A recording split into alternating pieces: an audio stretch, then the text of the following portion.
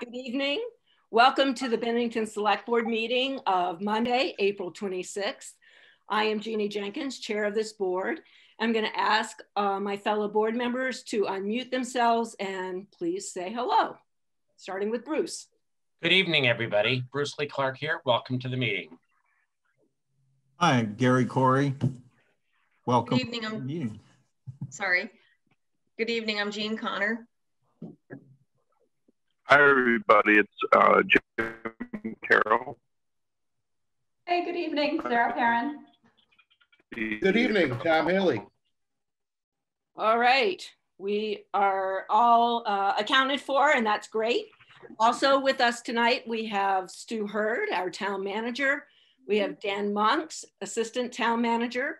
Shannon Barsotti will be joining us. She's the community development director.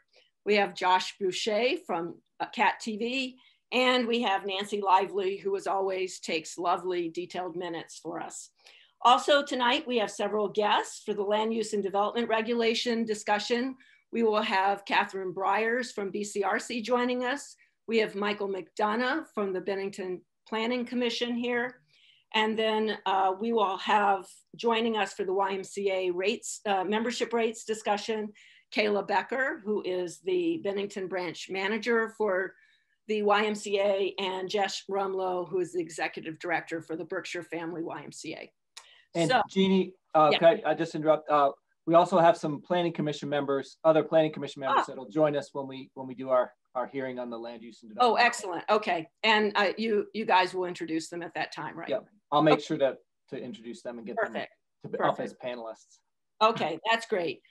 So next, I get to read the pandemic statement. And while I'm doing that, Dan, Dan who is our Zoom wizard, will uh, put the, uh, the viewing information up on the screen. Uh, so due to the COVID-19 pandemic state of emergency declared by Governor Scott and pursuant to Addendum 6 to Executive Order 1-20 Act 92, this public body is authorized to meet electronically. There is no physical location to attend this meeting. Members are, of the public are encouraged to watch the meeting by uh, turning, tuning in to channel 1085, which is CAT TV, or watching it on CAT TV Facebook Live. If one wishes to participate, you can also join the meeting as an attendee by uh, joining, uh, clicking on the webinar link listed here, you can, there is a live link uh, under the select board tab in, um, on the town website, or you can dial in by dialing 1 646 558 8656 and then putting in the meeting ID code of 894 4878 2346. Zoom attendees can view the meeting, but to be, to be recognized to speak, you must use the raise hand function. And the way that works is if you are in the webinar as, uh, as an attendee on Zoom, you uh, can click on the raise hand function at the bottom of your screen. Sometimes that is within the reactions button. Uh, if you are on telephone, you will raise your hand by pressing star nine and then when, uh, then when prompted to unmute yourself, hit star six. When you speak, please state your name clearly and also the town of residence. All right. So, all right, so now let's get on with our meeting. And the first order of business is Jean reading the vision statement. Thanks, Jeannie. Okay, here's the vision statement that we're all keeping in mind um, as we meet tonight.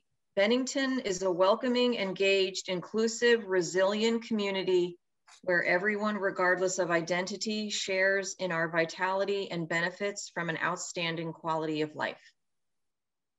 Thank you, Jean. All right, next up is the consent agenda, which consists of the minutes of April 12th, the warrants is circulated, and the updated liquor licenses. Hopefully, uh, for the purposes of discussion, do I have a motion to accept the consent agenda? Yes, Jean? I'll move it, and I also have a couple questions. But I'll, I'll, make, I'll make the motion first. Second. All right, thank you, Bruce. Okay, Jean, go ahead. Um, does anyone remember Richard Spees is listed under um, the people present by video conference for the land, the, the groundwater redesignation issue? Does anyone remember him being there? I know his name was given as an attendee, but I don't remember him being there on the call.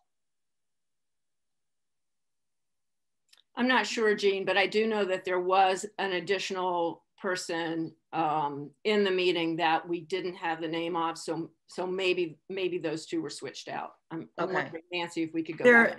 Right there, there was a woman um, that was listed who did not speak, but um, this gentleman did. Oh, okay. Hmm. I wonder if he was using Richard's computer because he, he, was. It wasn't Richard Spees who was using Richard Spees's computer. Oh, Whatever. Well, there you go. Somebody else. that I don't know. How would you possibly have known that? and, and maybe it doesn't even matter, but I just. Do you know who it was? No, but we can find out. Why don't we do yeah. that? We can probably tonight. Yeah. Okay. And I had one other question. It's page two, line 54 and 55. It says we're not there yet. However, vaccinated people will not need to wear masks or social distance and can gather in groups. I'm not sure that that's accurate. We have to wear masks. It's, it's when we're we're in like someone's home, we don't have to wear a mask, but we're supposed to be wearing them like out in public in the grocery stores and so forth. So I just wasn't um, sure. Now we are, but he said going going forward, that was what we were headed for. That's why that we're not there yet. Okay. Prelude to it, but I'll change it however you want and your call. Okay. Uh, maybe just add in the future, we're not there yet. In the future, however, in the future, vaccinated people will not need to wear masks. Okay. I'm not really, I, I, I don't, I'd have to like go back and listen to the tape to know exactly what he said, but it just, it didn't seem accurate. Um, I think that's all that's all. Yeah, that's all for me. Okay. Any other any other questions, comments? No, I just want to say I was really happy to see the down payment on the fireworks in the warrants for July 4th. Yahoo. Okay. All right. So in that case, can are we ready to vote to accept the uh, consent agenda? All those in favor say aye. Aye. Aye. Any opposed? Any abstentions? All right, great. So we're ready to move on to the next item, uh, which is public comment. So let me go over. I see we have two hands up. Let me, uh, individual ending in 439. Um, okay, how do I unmute them? Okay. Uh, unmute yourself uh, by uh, pressing star six. And let me please remind you that um, the purpose of public comment is to allow residents to share information or questions that will be of benefit to all of us. Comments and questions should be for things that are not on the agenda. Please try and keep your comments to around three minutes. And as always, if you have a question, the best way to get it answered is to check with our town manager before the meeting. So having said that, please uh, tell us what's on your mind. Yes, I'm Mary Morrissey, and good evening to all of you this tonight. I'm here tonight to report that our Vermont National Guard located here in Bennington at the Armory will be having a deployment in early May.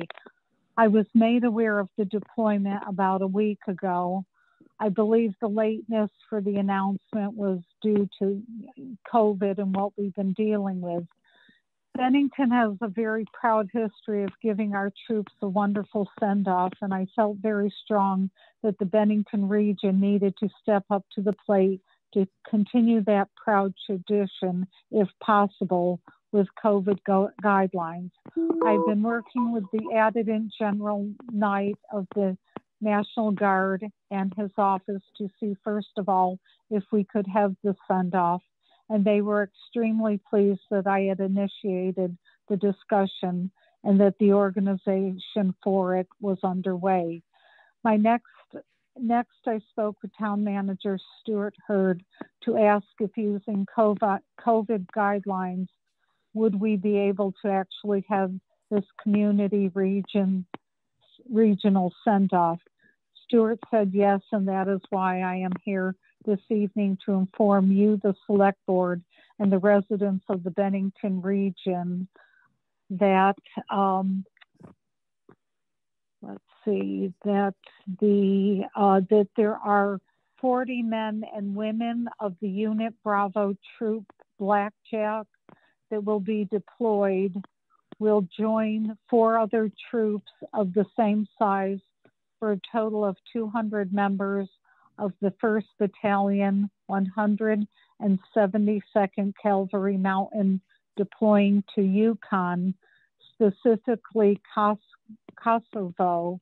This is a NATO peacekeeping mission which has been ongoing for 20 years. Their deployment is for one year. I met with the Chief of Police, Paul Doucette, and Captain Cam Grandy of the Bennington Police this afternoon. I have been in touch with the following to save the date until I spoke with you folks this evening. Uh, the Bennington Sheriff's Department, Vermont State Police, Hall Police Department, Bennington Fire Department with all surrounding fire departments in the region, Bennington Rescue Squad, all of our veterans groups, the American Legion and Auxiliary, Veterans of Foreign Wars and Auxiliary, Vietnam Veterans, Vermont Veterans Home, service clubs, um, and businesses along what will be the departure route. I am now announcing to the citizens in the region and businesses along the departure route, and I will try to get out to speak with each of you so that even businesses and entities along the route hopefully will look to participate.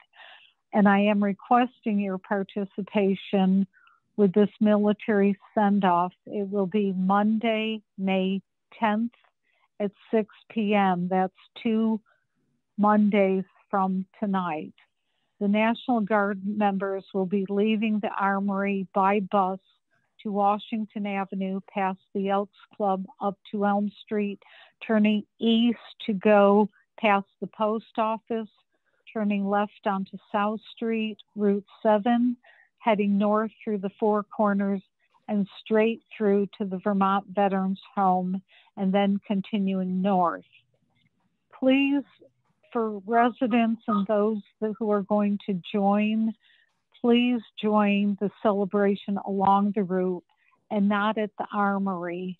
The armory area should be for the troops and their families to have, mm, sorry, have their private time to say goodbye before leaving for a year. And I respectfully ask you to follow that. Please come and show your support for our troops and their families. Um, bring your spirit and enthusiasm. Bring flags and signs of support. Wherever you situate yourself along the route, please remember to wear a face mask and safely distance in the area you are standing with others.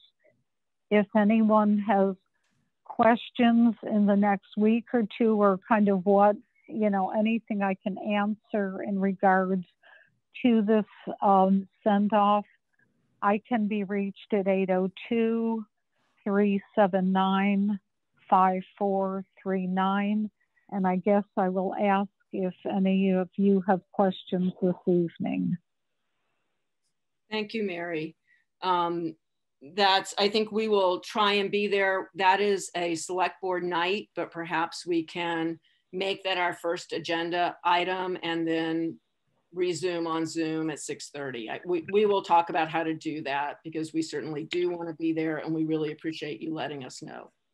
We would certainly love if, if it was at all possible, being that the armory is in the town office's backyard. We're hoping that possibly select board members and their families or whomever might be able to start your meeting a little bit late and possibly be on the town office uh, property with your flags and great spirit to join in this celebration. Okay, I yeah, I, I we will talk about that. I'm sure it's possible, and that we are all looking forward to doing that and making sure they get a proper send off. So thank you. Thank you very much. Thank you. All right, and I see we have one additional um, person for public comment tonight, Daniel Stroll. Uh, Daniel, let's see, are you, for whatever reason, I can't, un Dan, I can't unmute Daniel, if you can. Okay, so Daniel, you're up. All right, well, thank you very much for uh, letting me come on to, to make this announcement. My name is Dan Stroll. I live here in Bennington. I am the manager of the Bennington Farmers Market. Uh, we are going to be moving the summer farmers market location to the Deer Park.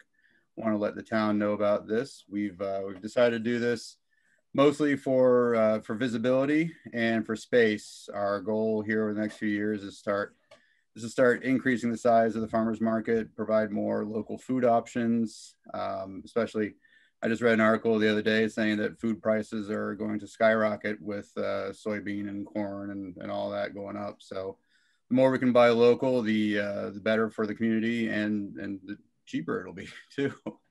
Um, so the farmers market summer season will start this coming Saturday at the Deer Park. Um, you'll be able to see it. We've got the signs up all over town. We've moved our little trailer over there and uh, we hope to see everybody there. Uh, time will be uh, from 10 to 10 to 1 as we do normally. Uh, we will also continue to provide uh, online ordering for curbside pickup.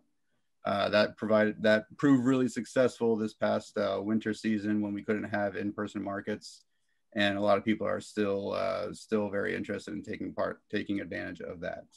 Um, you can find all the details on our website, benningtonfarmersmarket.org or you can give me an email, benningtonfarmersmarket at gmail.com, and I can fill you in on the details. Perfect. Thank you so much. We look forward to seeing you this Saturday. Thank you very much. We'll see you then. Bye-bye. Jeannie, Sarah had her hand up. I'm sorry. It's Go ahead. down, but I, she might still want to speak. Oh. I actually had a question for Mary, so I guess it might be a little late at this point. Oh, I'm sorry. Uh, um, yeah, um, that's okay. Thanks. Okay. All right. All right. So on to our uh, to the public hearing on the amendments to the land use and development regulations. Um, I guess I'm going to invite Dan Monks, Michael McDonough, and Kat Bryars to kick this off and introduce any other members that you would like to introduce to this hearing. Yeah, before we get started, I know Michael's got an introduction, some introductions to make. I just wanted to note that Robert Ebert and Nick Lassoff, both um, Planning Commission members, have joined us. Looks like Nick's away from his, there he is. so Nick and Robert are joining us. They're both Planning Commission members along with Mike McDonough. So Mike, take it away. All right, thanks Dan and thank you Jeannie. Uh, I am Michael McDonough. I'm chair of the Bennington Planning Commission. Uh, and I'm going to be joined on the screen and in the presentation tonight by Dan Monks, um, our Assistant Town Manager and Planning Director, uh, and Catherine Bryars, uh, a planner with the Bennington County Regional Commission. Uh, Dan has already mentioned that Nick and Robert are here this evening. Our remaining Planning Commission members are Charles Kopp and Ken Sweerad. I want to say that we're very excited and relieved to present to the Select Board and the citizens the final draft of land use development regulations or the LUDR update for this select board public hearing. This effort is in response to a town recommendation that form-based planning and design be considered for inclusion in the land use and development regulations. In that sense, we sort of recommended it to ourselves. Planning Commission to Planning Commission. The process began in 2019 with an information session at Bennington College CAPA about form-based development for county planning officials and sponsored by BCRC and the Planning Commission. The town was awarded a state grant, planning grant, in December of 2018 to fund the LUDR update. We selected BCRC as project consultant following development of our project scope and the receipt of requests for proposals. By choice, we focused our attention on the downtown area, formerly the Central Business District, anchored at Putnam Square and radiating through the various commercial and residential districts which surround the downtown. Our scope did not extend to the industrial and commercial, rural residential, and residential conservation districts beyond the downtown core. But in particular, consideration was given to the planned closure of the Energizer facility. We made a kickoff presentation to the select board in May of 2019. On March 20, 2020, we canceled an LUDR stakeholder presentation to the BBC Board of Directors due to an emergency town COVID meeting. And from that point on, we retired, retreated to our Zoom screens. In August and September of 2020, we held downtown and community stakeholder Zoom meetings. And in February, we held the Planning Commission public hearing on the draft revisions. Tonight, Catherine will take you through the results of this effort, intended to make our land use and development regulations more direct and more illustrative based on form-based planning principles and Dan will answer and direct any questions which you may have following that presentation. Before I turn to Catherine, I want to extend my thanks to her, Dan, and especially to the planning commissioners for their thorough and extended deliberations and commitment to Bennington's future in developing this land use and development regulation update during a difficult time. Catherine?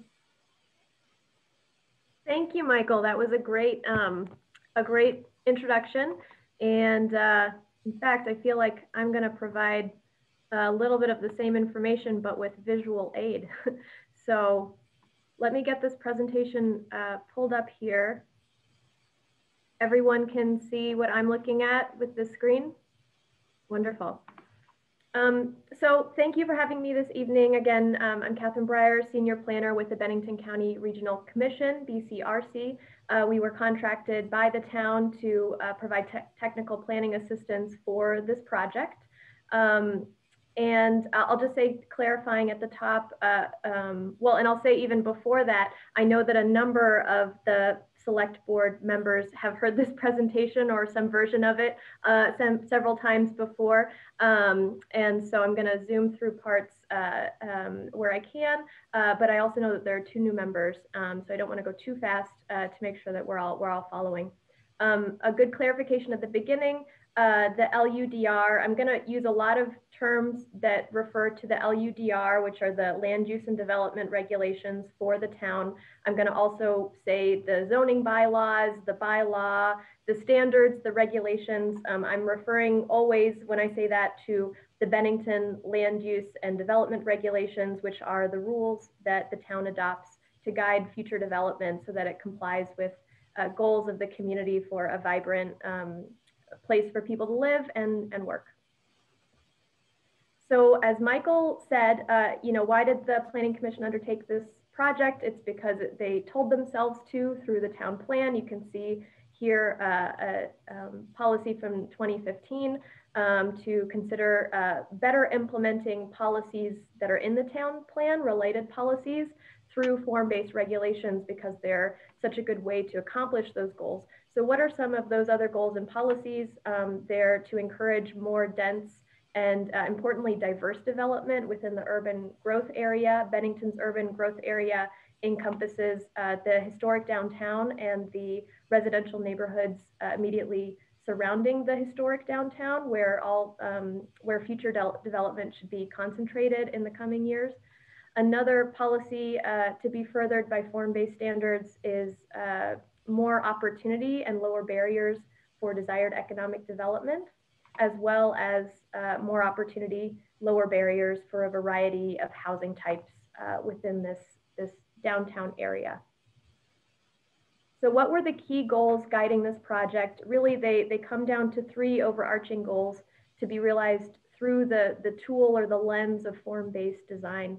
The first is to lower barriers to desired economic development. So one way to accomplish that is to uh, place more emphasis on administrative review where suitable. So this is a lower level, um, shorter um, timeline review for uh, developed projects uh, when compared to uh, Development Review Board, DRB review, or um, um uh, th those type of higher level review processes. And uh, a second way to lower barriers is to relax restrictions in some areas for specific uses um, and in areas where that makes sense and complies with other policies out of the town plan for those areas. Another overarching goal uh, to be realized through form-based standards is the simplification of the zoning bylaw um, for this area. So two ways that that um, has been realized in the proposed regulations is to consolidate uh, regulated uses. So in the area that we uh, focused on uh, around the downtown, there are currently 47 individually regulated uses. And so this consolidation would take those down to 14 um, categories that have comparable um, levels of impact and therefore can be regulated compar comparably as opposed to individually. Um, a second way to simplify the regulations is uh, the proposed consolidation of zoning districts from the seven zoning districts that are currently in this area down to five. And a final overarching goal is to make the standards more user friendly. So simplification certainly um, uh, accomplishes a lot to make the standards more uh, user friendly and understandable, but also introducing graphics and illustrations to help uh, the layperson um, understand what the st standards are referring to and how they are trying to further the goals of the of the town um, can really go a long way to making the document more understandable, user friendly. So I've mentioned that uh, form-based standards are um, a great way to uh, accomplish some of these goals, um, but what does that mean?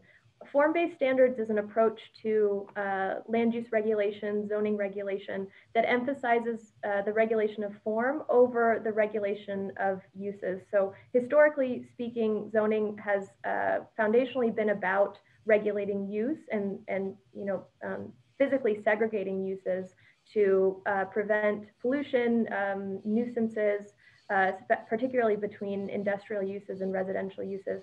But as other types of uh, regulations have come online, public health uh, regulations, uh, building codes, fire codes, uh, the need to regulate uses has declined over time, which has actually provided a really nice opportunity for communities to think more about what type of built form and built environment best achieves goals goals for creating a, a place that people want to be and, and where uh, businesses thrive. Uh, in particular, form-based standards are really focused on encouraging walkability because walkability is highly correlated with uh, places where people want to live and where uh, businesses are, are, really successful getting people out of cars and walking. Um, there's a direct correlation uh, for how, how much revenue businesses um, in walkability, walkable adjacent areas make. Um, and so when we talk about what's this building form that Bennington wants in the future, it's helpful to look at this cross section of Main Street, looking down East Main Street from the four corners. We can look at these buildings.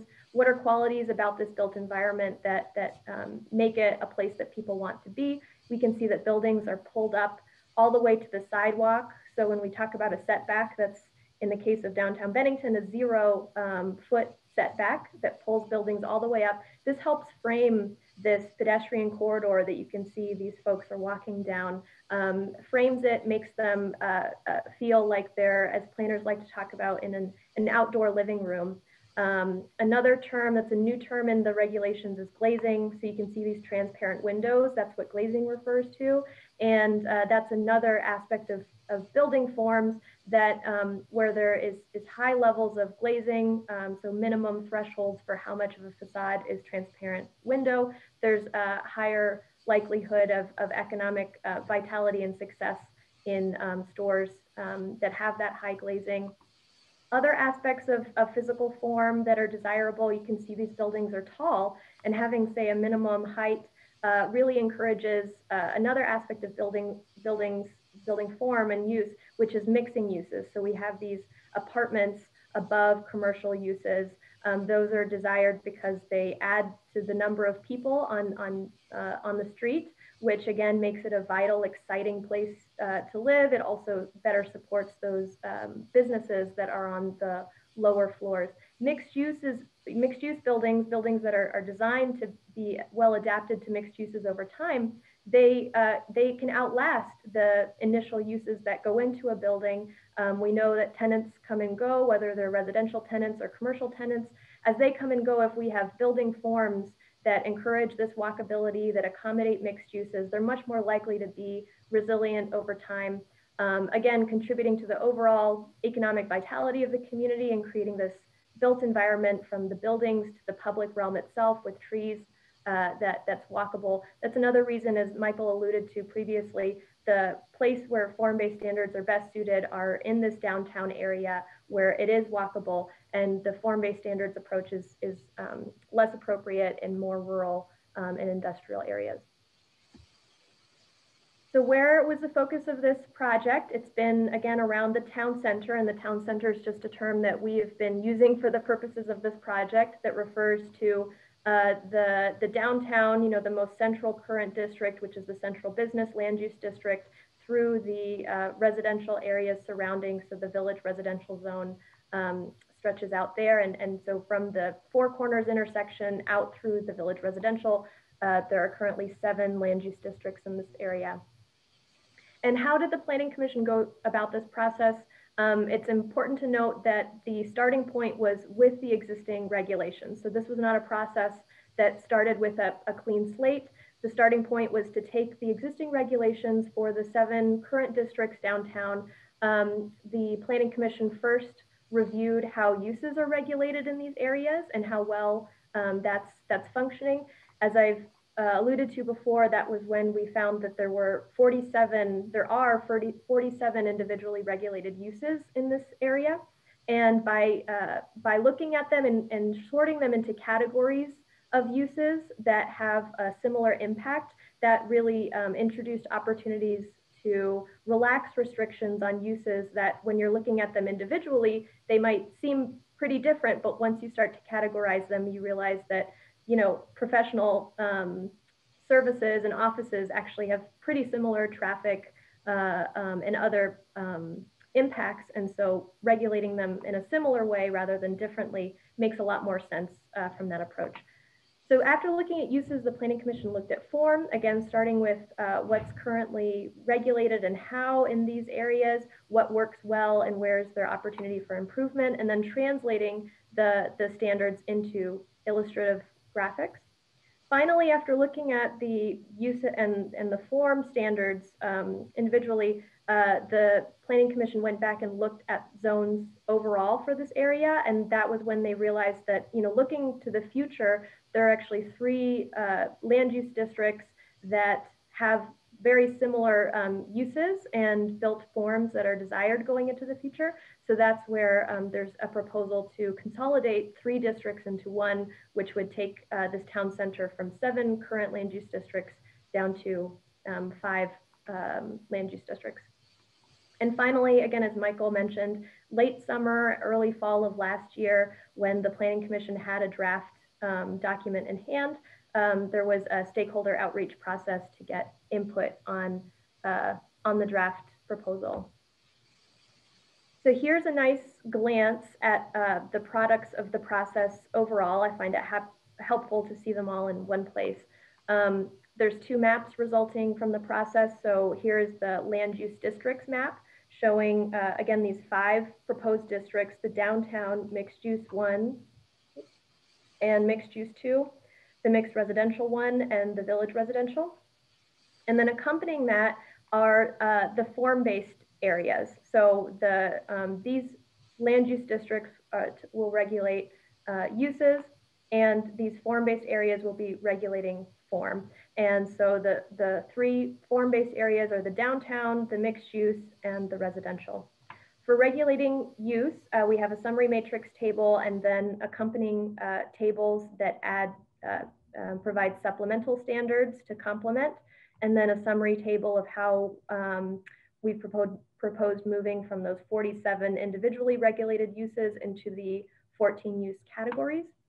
And then the three form-based areas here are broken down into standards for the downtown, the mixed use, and the residential. And finally, um, for accessory apartments, there are some new um, standards uh, that are statutorily, statutorily required as of last year. So those have been integrated um, as well as graphics um, to help people see where um, infill housing can uh, occur through accessory apartments. So just zooming in, uh, uh, helpful to explain that while there are uh, two maps for the land use um, regulation and then form regulation, uh, we've tried to keep it as simple as possible. The, the district lines um, correspond perfectly. So the downtown land use district is entirely within the downtown uh, form-based area. The mixed use one and mixed use two uh, land use districts are within the mixed use design area. And the mixed residential one and the village residential land use districts fall entirely within the residential design area.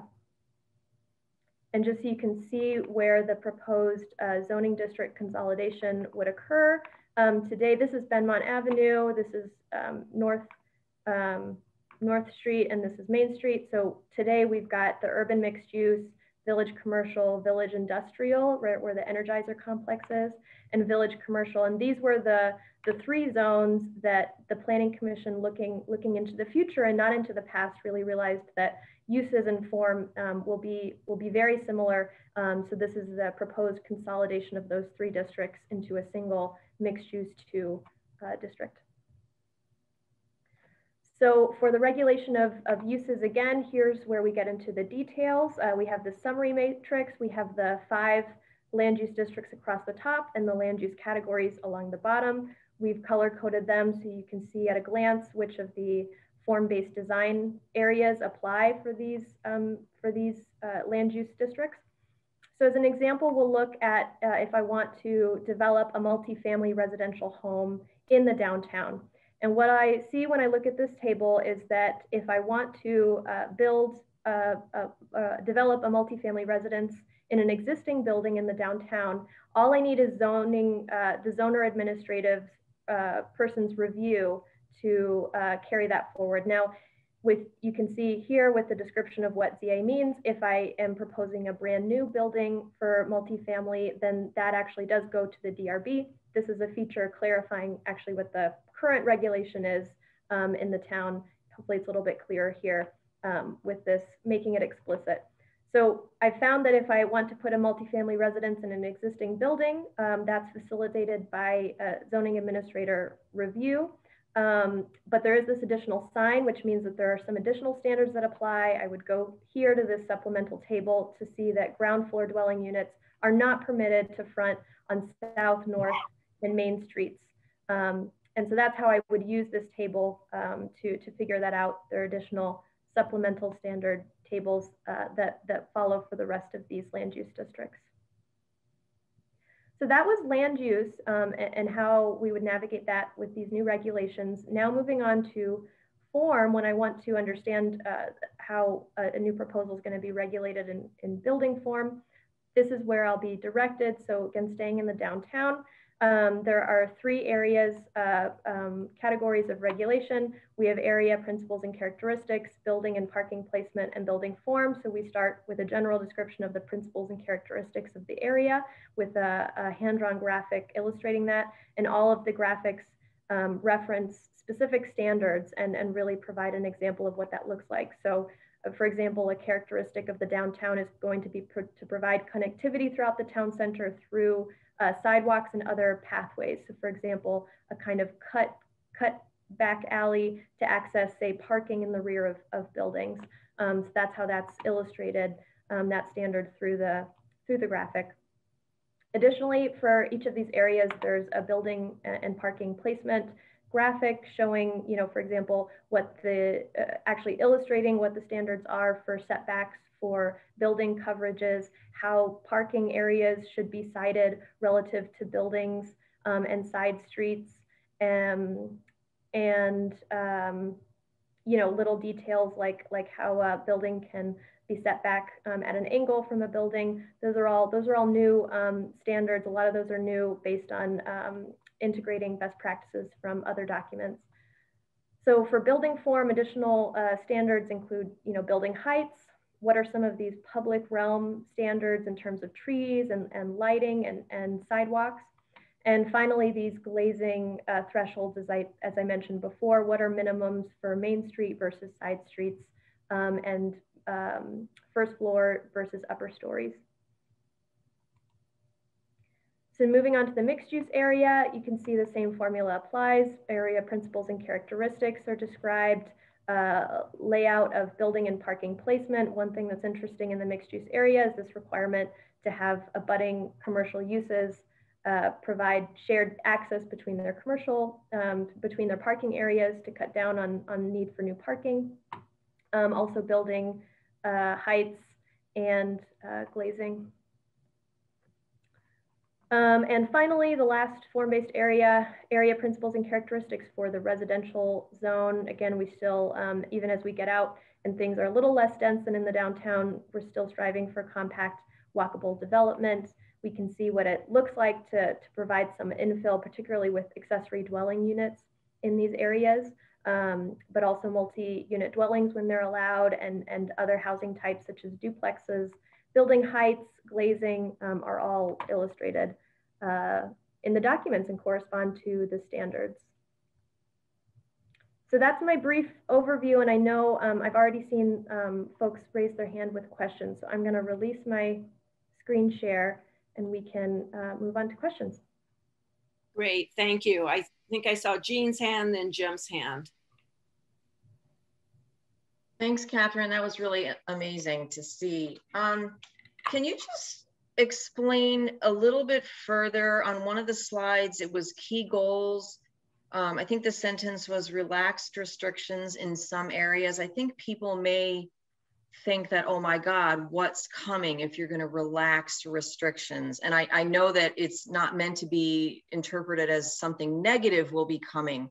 Can you just explain a little bit what, what the intention was for that? Sure, of course. Um, thanks for that question. So an example of that is, uh, as, as I mentioned a couple of times in the presentation, this consolidation of uses. So currently, you know, in a, in a given zone, and, and um, Dan is, is more familiar than I am with, with what the current zoning says, but you might have a district in the town center that says that a bank is okay, but a, farm, a pharmacy is not okay. And when you break it out by category and you, and you think of those as similar uses providing, you know, uh, uh, retail or professional offices, um, that those actually have a similar impact to each other in terms of, you know, parking requirements, uh, people walking and coming and going, not having kind of after hour impacts um, in the same way. And so we might have a district that currently says that a pharmacy is okay, but a bank is not. But by looking at those as, as being in a similar category of impact, now the regulations would say, no, in a place where you have a pharmacy, it seems reasonable to also have a, uh, a bank. So that's, that's kind of the level of change that we're talking about, where things are already allowed and have a certain impact. Other uses that have a similar impact could also be allowed. So, so if I'm if I'm understanding you, the restrictions that used to be in place, they were serving no no purpose. There was no good reason for the for the restrictions that that are no longer there because of what you just described. So what you might have, maybe maybe the right way to put it is is that um, again the focus was on really individual uses, and so you can kind of get in and only see that one use, and and what what you're ideally thinking about is impact. And so by thinking in terms of those categories, it helps you think about what's the actual impact in terms of noise, in terms of traffic, and you think less about, well, do we want a bank? Do we want a pharmacy? And it helps you think about impacts. Very interesting. It's just like a different, a different mindset. Dan, did you want to did you want to add? Yeah, I'd like to add. So, so Gina, I think um, Catherine did a great uh, explanation of, of, of a good portion of what we did with regard to uses, but I do want to point out that we also took into account that there are some areas, and, and in particular the Energizer uh, area, where uses really need to be changed because we know that it's no longer going to be an industrial site or is very unlikely to remain completely an industrial site. So we carefully uh, reviewed and determined what additional uses might make sense in a redeveloped Energizer Eveready site. So that's a very specific uh, zone that we looked at very carefully, and we did, you know, I guess we could say relaxed uses, but more importantly, we recognize that it's not going to be used exclusively for industrial purposes uh, in the near future, and we needed to allow for uh, other appropriate uses to um, to be to be uh, imp implemented in that area as it, as it redevelops. So that, that's a very specific example, but those are the types of things that the Planning Commission was thinking about. And I see that Michael, you may want to add even more to that. Yeah, I'm just going to add one additional thought. Um, we haven't removed the categories of uses in specific areas. For example, we're not spreading what heretofore have been downtown uses into our residential zones. The residential areas still stay intact. Uh, there are transitional areas that basically stay intact. Uh, and so um, I, I want to be careful that we don't leave the impression that Bennington is now a blank slate and anything goes anywhere. That's in fact, not, just to, that's not what's happening. And to clarify, for instance, in the village residential district, there was no change in allowable uses. So we were very protective of those in town close neighborhoods to make sure that there were no incompatible uses in there. So I think the districts that we really looked hard at with regard to uses is downtown and then the mixed use districts. And we just wanted to make sure that we did what we could to uh, to improve future use. That's great. I, um, Jim, you're up next. I just want to say I know that we have some time constraints on this hearing. So, um, so Jim, go ahead and uh, any uh, anyone else that has questions will want to ask them sort of quickly. Go ahead. Thank you, Madam Chair. Um, um, a, a, general question with respect to uh, whether or not Act 250 had any uh, role in uh, the development of this plan. So um, Dan might have more thoughts about it, but but the first thing that comes to mind with Act 250 is that we did uh, uh, undertake this project with the intent that once the um, proposed zoning is is hopefully adopted, that the town will be applying for a neighborhood development area designation, um, which is something that is a is an add-on designation through the state uh, that can be added on to the to Bennington's existing downtown designation, and it it provides a, a range of benefits um, to encourage particularly housing development adjacent to a designated downtown. And so one of the uh, one of the supports through that program is to have say Act uh, 50 design um, fees waived, and they're actually currently exploring what are some additional uh, Act 250 related waivers um, or exemptions that can apply. Dan, do you have anything to? Well, I, I just would like to make, you know, I think with regard to our downtown, except when we're talking about very large housing developments, we're, we're almost currently basically exempt from Act 250 because we're a 10 acre town. So unless you're impacting 10, 10 or more acres or you have, you know, multiple uh, dwelling units in a project, we don't, we don't typically see an Act 250 jurisdiction um, with regard to most of our downtown area. There are exceptions where we have large numbers of housing units, and, and like Catherine said, this this will be helpful in, in getting additional exemptions or you know, uh, uh, you know, as far it, it relaxed restrictions with regard to Act 250. Good, thank you very much. Any other questions from board members out there? No? Okay. Uh, and I don't see any questions from attendees. So with that- Janie, Janie, can I ask a question? Of course. Um, directed at Jean, but uh, I'd gladly take uh, an answer from anyone. Uh, do you think it would behoove us to find a different phrase than relaxed standards? Uh, do you think that will put people off or, or concern people? Anybody? Leave it the way it is? Well, I'd have a thought, um, Robert, which is which is that you know it can, maybe it depends on who the audience is, but um, you know certainly to encourage economic development and and make sure that there's a wide range of economic development opportunities and housing types that are suitable in this area. Um, that's really where relaxing restrictions um, certainly has a positive connotation for developers that want to develop and want to um, realize the vision for the town as it's outlined in this document, uh, but to do so with the least number of arbitrary, you know, barriers possible. Right. Great. Bruce, it looks like you have a question or comment. It's not so much a question as I'm, I'm going to echo uh, what Kat was just saying. I think if we can stress that piece of it, then then it makes much more sense. And connecting it back, uh, and I know this was all under the town plan, so but making sure that for the purposes of, of developing, uh, making economic development in this area uh, somewhat more simplified uh, would be, which I think that would be what I would stress, rather than just the relaxation of particular regulation. Yes, yes. So it looks like it increases the ease of of moving forward. It has definite economic development benefits and uh, and also aesthetic benefits.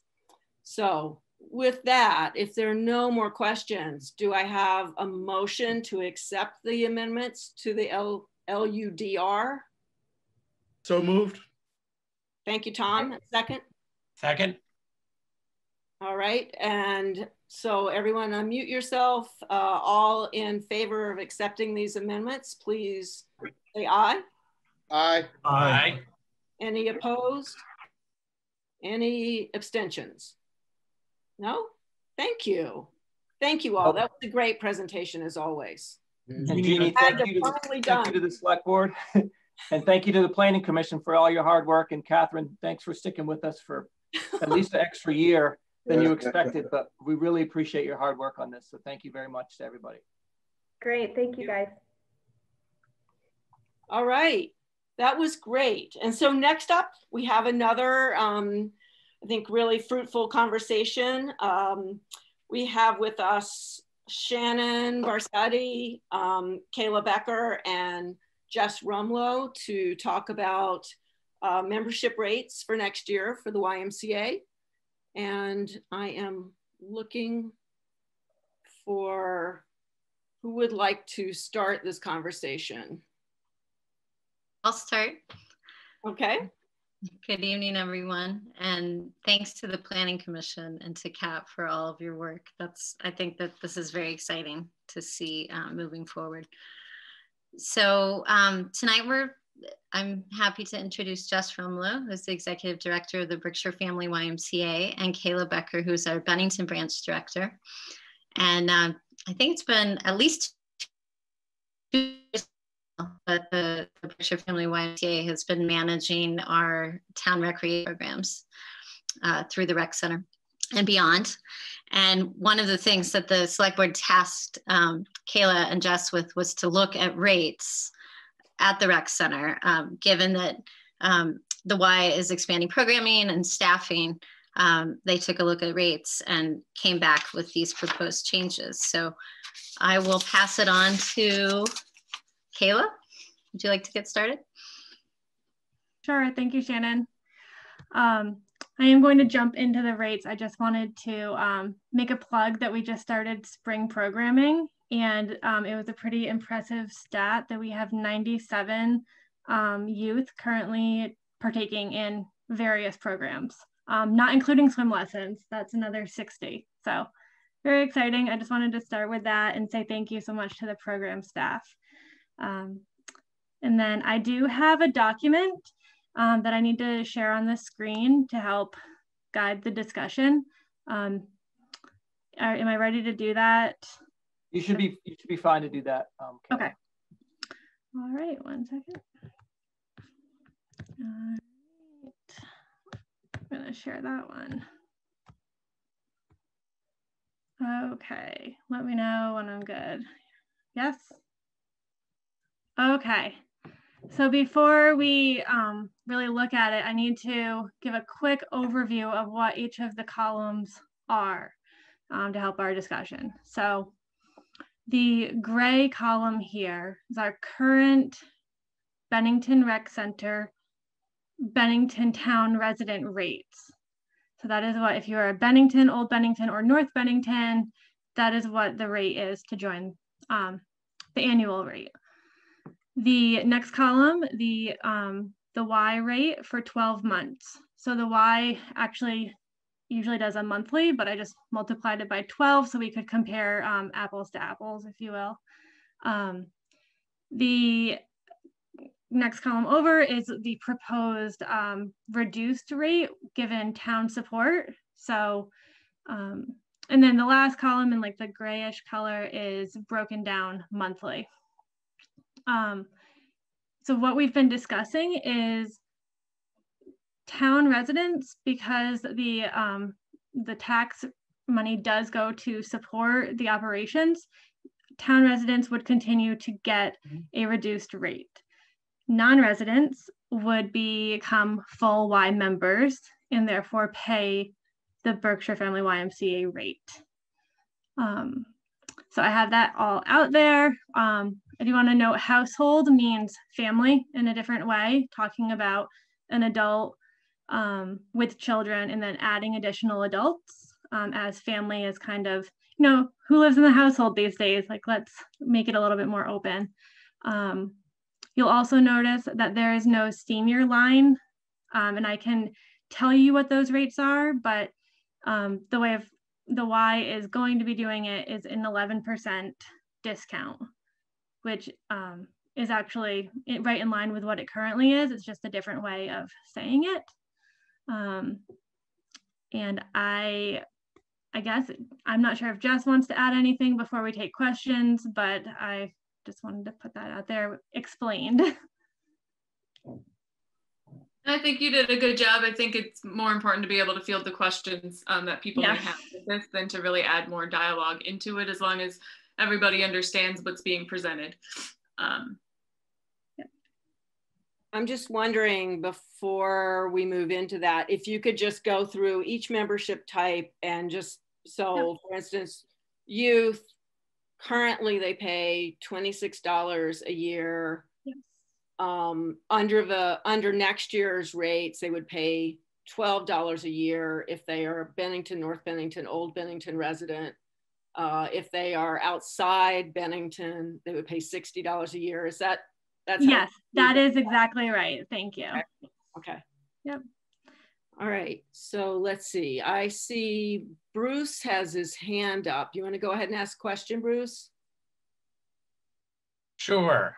Um, I think I understand what the my first question is going to be, but just for clarification, since there's nothing on here that says what the uh, effective date of these rates are, my understanding would be that these are the effective, these if passed would be the effective rates for January 1st through December 31st of 2022.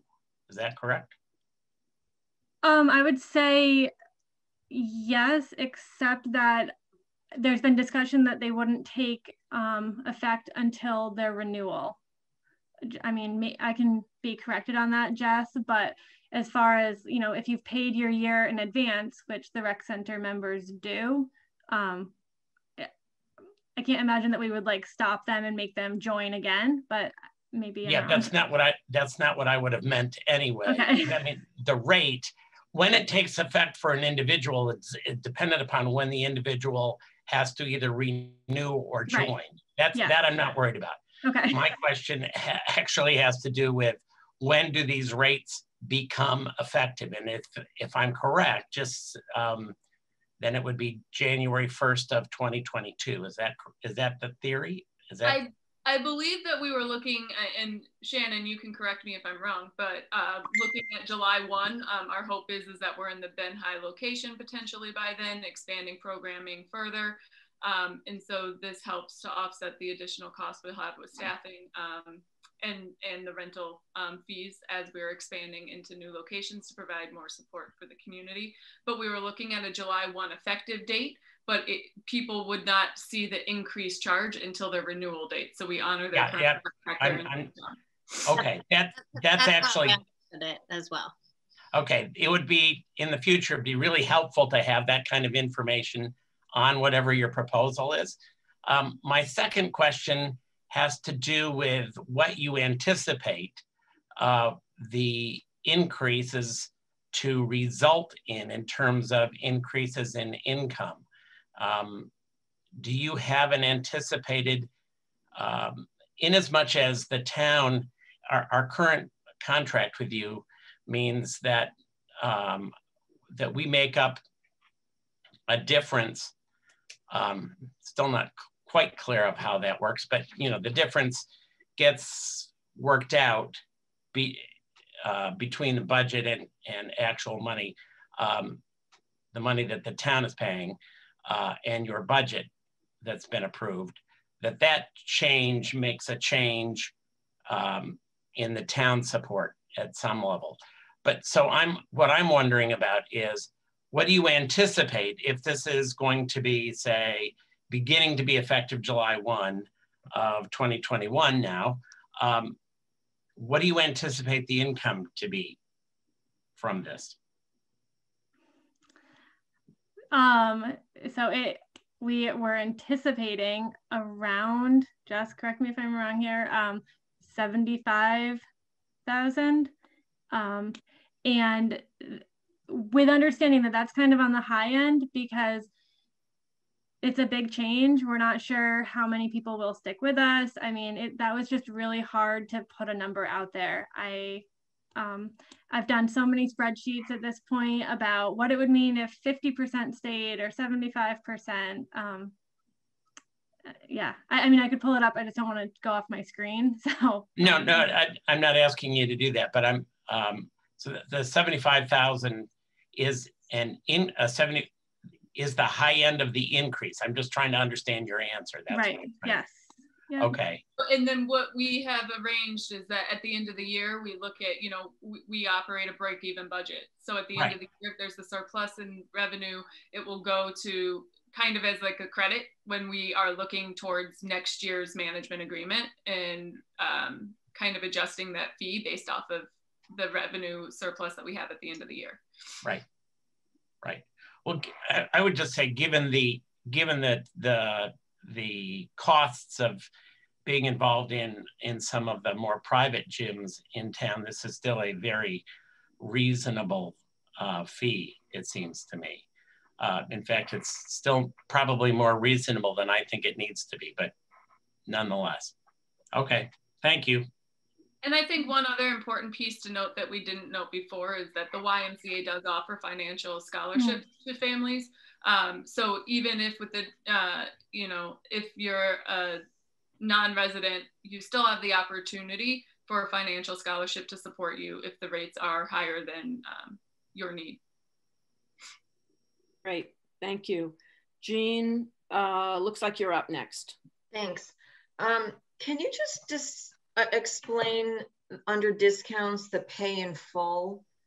Um, yeah 10% discount. And then um, this is something I think I've mentioned before, and I'm curious if you or anyone has done any research on the corporations where you know there are members that are getting the corporate discount. Um, I really think there's a trend that insurance companies, you know, my my health insurance pays for my membership in full. I get reimbursed 100%, and I'm just wondering if the corporate discount is really even something you need to offer because I'm wondering if most people's health insurance plans are subsidizing their fitness costs. Okay, the first question, the pay in full, was um, the Y does a monthly membership. So if you're to pay the year, in advance. So the year, um, that's the 10% discount. Um, and then I'll let Jess speak to the corporate. Um, again, it's I did add in the um, individual MOUs, and that was just kind of a baseline. So currently, right now, there's a lot of corporate memberships. There's not um, any formal documentation on how they were created or what the guidelines were, and they haven't really been updated. They've just been continued. So what we want to do is um, look at the the so the Y does it in two ways. We do 10% for some of our local large um, businesses. Um, so uh, General Dynamics or Berkshire Health Systems gets a 10% discount, the city of Pittsfield um, and the city of North Adams for their employees um, and being part of our community. It's 10%. But we also have the opportunity to have conversations and uh, that's where the MOUs come in. We have some organizations, um, one would be uh, Berkshire Theater Company. They get a lot of seasonal um, actors and actresses to come in. They want a place to work out. So we offer them um, complimentary or discounted memberships, but then we also uh, get the opportunity to see plays. We partner with them for camp field trips um, and different things. And so it's more of a give or take on how these community agencies can support um, the Y in the rec center in the town. Um, but then, you know, it's a little, a little bit more of a mutual um, understanding um, and what we're receiving. And so not just everybody gets this discount just because you're a business in the town. So we can have more conversations about how we support one another and really become corporate partners. Um, and then um, I'm looking at what you, uh, and so what we would like to see is more of a conversation with our partners in the community and how to work together. And that's where we see the corporate discounts coming into play, but more of a case by case basis and really kind of recreating those relationships. Um, Kayla meeting with them, going out into town, and um, really figuring out what that can look like. If that answers your question, Jeannie, uh, long winded. And it, it doesn't really. It, it, my point is, you may not need to give corporate people that work for command, let's just say, if they're joining the rec center and getting a 10% discount and then getting reimbursed or could get reimbursed for a full priced membership, you're you're you know I, I certainly am totally in favor of collaborating with with businesses. That's that's a, a, fantastic idea and, and, that always should be a goal but i'm just trying to i'm trying just trying to get more money in the door. By offering a 10% discount you might not even need to do that because their health insurance plan may pay for it without the 10% discount. So and, and that would be just third party billing. And so what typically we do in pittsfield and north adams branches is if someone comes in and says you know my employer is going to reimburse me we just give them um, a copy of the receipt through our Daxco, and then they take care of it on their own. Um, and so usually it's just a letter that we have to provide. But you're right, um, a lot of the larger businesses are offering um, some form of discount. Um, it might not cover the entire thing, but typically they reimburse the employer or employee so that we're just providing documentation for them. But it is something that we do at our other branches. And so we, we can have those discussions as to whether or not they're needed and I think that's where the conversations Kayla needs to have and getting out in the community, meeting the larger business partners and starting kind of having that dialogue so that we get a better understanding of, you know, really what these employers need in order to, con, you know, to promote a healthy lifestyle and how can the Y um, be a part of that in their organization. Great. Jean, does that answer your question? Yeah, it, that was that was better. I just um yeah, I just want you to make the money that you deserve to make and not be giving discounts where you don't need to. I appreciate that. Great. All right. Any other select board questions before we move to community questions? All right, not seeing any right now. I see we have one community member um, ending, let's see, uh, phone ending in 196. I'm gonna ask you to unmute yourself by pressing star six. And please identify yourself and town of residence. Uh, Mike Bethel, Bennington. Hello, Mike. Can you hear me? Yes. Okay. Um, well, a couple of points. One, you couldn't get in on the other thing that you did. Somebody called me and wanted to talk on with the Mike McDonough presentation. No, you you didn't take any audience participation in that. There but were- anyway, on the rec There were center, no, Mike, there were no hands raised. I know they couldn't get in. They didn't know how to get in. They didn't Oh. know how to push nine six, I guess. Uh, Um, On the rec center thing, I got a couple of questions. Why did we pay the YMCA extra sixty-three thousand dollars this year, above and beyond the contract? What, you want to ask all your questions? I'm thinking Stu may, uh, Stuart may want to respond to some of these. Why don't you ask all your questions? Well, that was what that was one of them. That was the one. Oh, sorry. Okay. Stuart, do you want to answer? Sure. Mike? Yeah, and when we when we first uh, began the agreement with the the Y, uh, they looked at our total revenue, uh, which uh, included all the revenues from the rentals of the fields and the pavilion, uh, which of course they do not benefit from.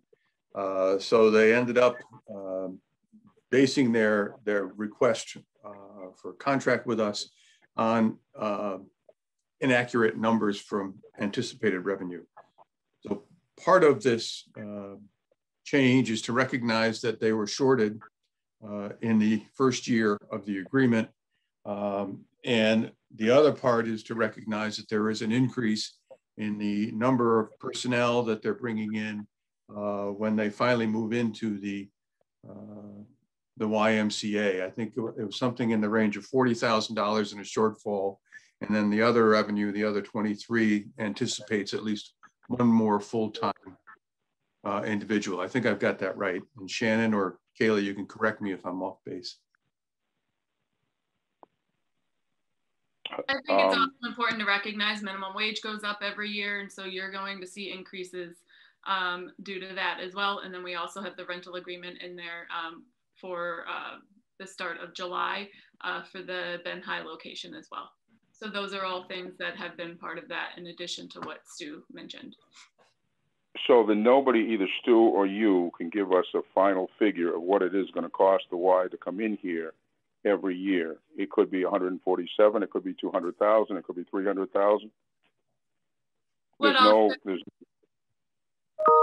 hope is that as, as programs grow and we build revenue streams and continue to grow our programming, the hope is is that the impact on the town continues to go down. But unfortunately, we've hit a lot of challenges um, over the past two years and things that we couldn't um, necessarily account for. So we wouldn't have assumed we would have been closed for four months this past year and not been able to do programming and things like that. And so all of those Right, affect our ability to grow. Um, but Kayla's doing an amazing job at bringing in new programming and opportunities for the community. And um, our hope um, with the rate increases and the additional programming and things that over the time, over the years, we should start seeing a decrease um, in the amount that we are asking for support from the town. do you But send no, a I, I don't have a magic ball and I, I I can't tell you exactly what that's going to be at this point um, every year. So we're still very much in the growing phase of things. Okay, do you have a spreadsheet of how much money is taken in every year so far and sent back to the town so we know that? Like the dues and the membership and the fees? We, we provide the town financial reports um, for review. And Mike, those are, do- those are done on an annual basis. And that's part of that true up that uh, we mentioned earlier.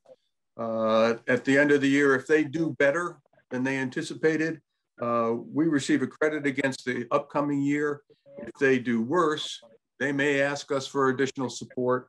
Uh, And unfortunately, I think COVID has, has created some uh, real problems in trying to identify how well this relationship is going to go. But I, I'm, I'm pretty confident that we will see these, uh, the request for town support be reduced over time.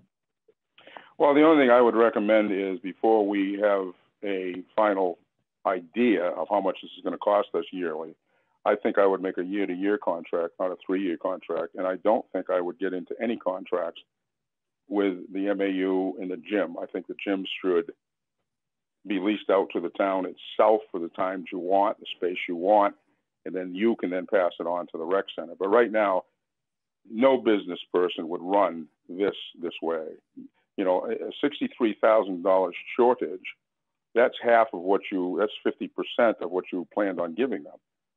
So that's not a shortage. That's that's just a miscalculation of how this is going to go in my mind. Five thousand would be a shortage. Ten thousand, but not half of the 147 in the contract. Well, re remember, Mike, you're misstating it. Uh, part of the, the, shortage was about $40,000. Uh, the additional cost is for uh, additional personnel as they ramp up their programs this year.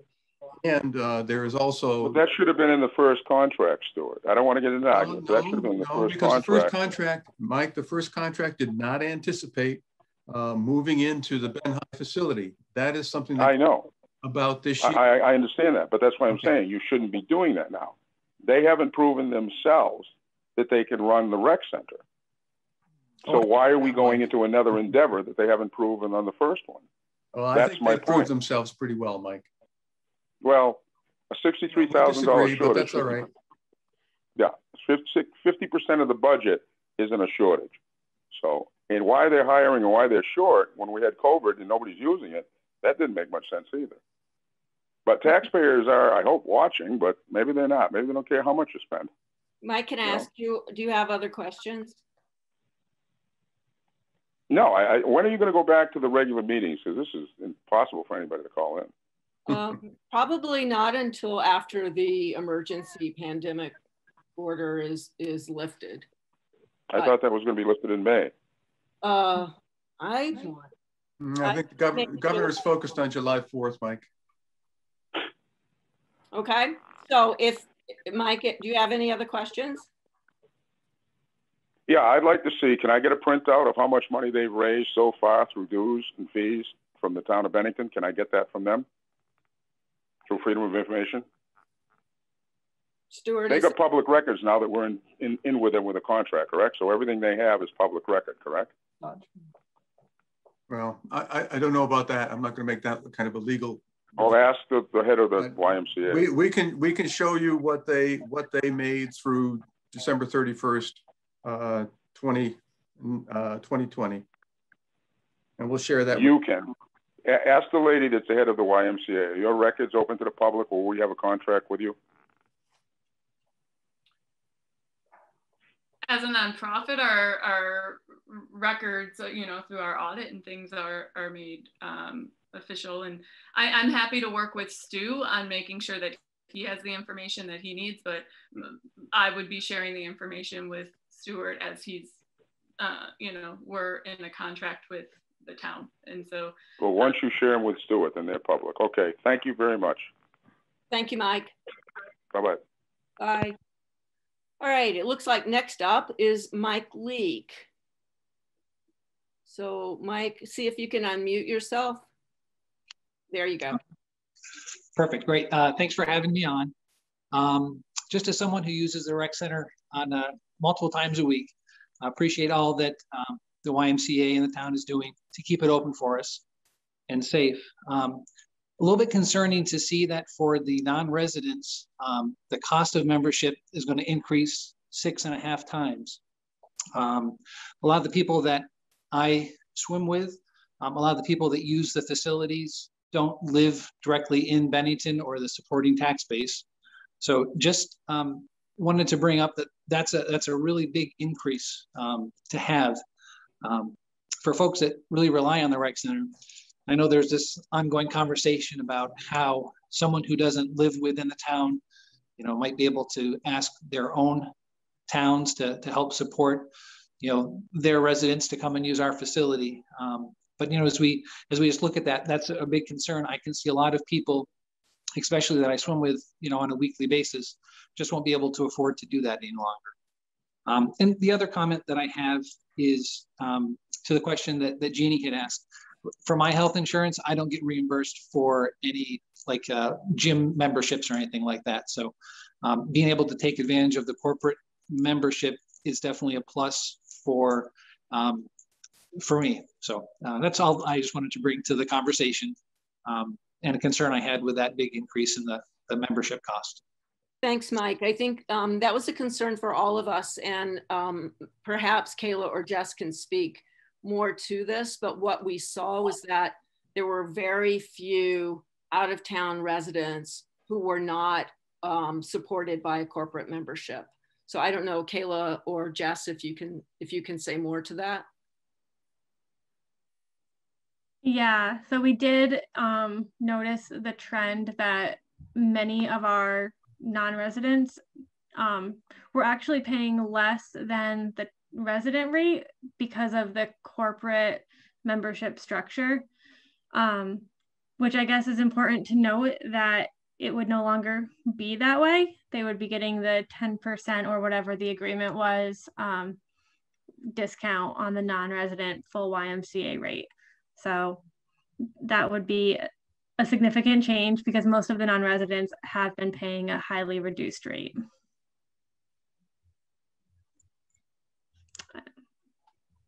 And also I like, I want everyone to be able to use it. Um, and I also want to recognize that it costs a lot to run this facility. It's an amazing asset in the town. And um, what we've been trying to do is to really get um, people to see the value of it um, and you know what, what you can afford um, is individual but it is a great asset that does cost money to operate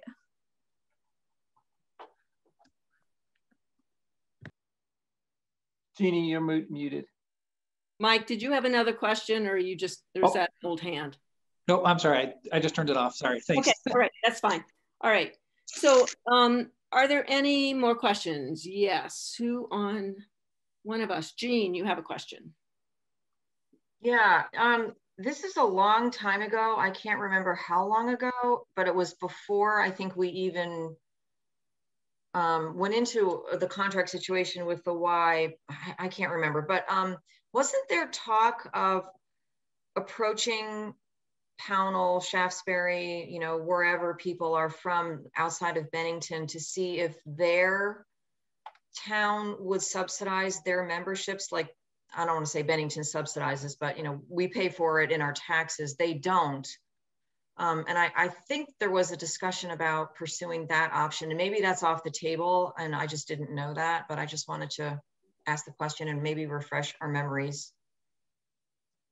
I believe that it did not get pursued in part because there were so few residents who were uh, non-residents who were not corporate members.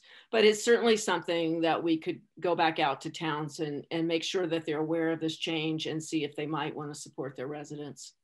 I think that would be really nice to do. Thank you. Okay, any other questions, comments? All right, let's see. I see one attendee. Yes, Tina. R Tina Cook.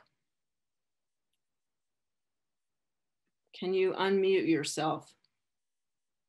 Dan, I may need some help here.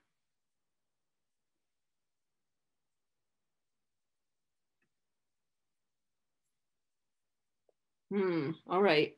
Tina, I don't seem to uh, be able to get you. Are you there? Hello? Oh, yay. Okay. Hi, Tina. Please identify yourself, town of residence. Hello? Mm. Hello? Can you hear me? Nancy, it looks like you're up rather than Tina. Okay. Okay. Yeah, thanks. I have several questions. Can you rate, can you identify yourself first, please? I'm sorry, Nancy White Bennington. Before we're talking memberships, we paid $146,000 as a town in our contract last year. I want to know who decided we would go from 12,000 to $17,000. Where did the money come from and who made this decision?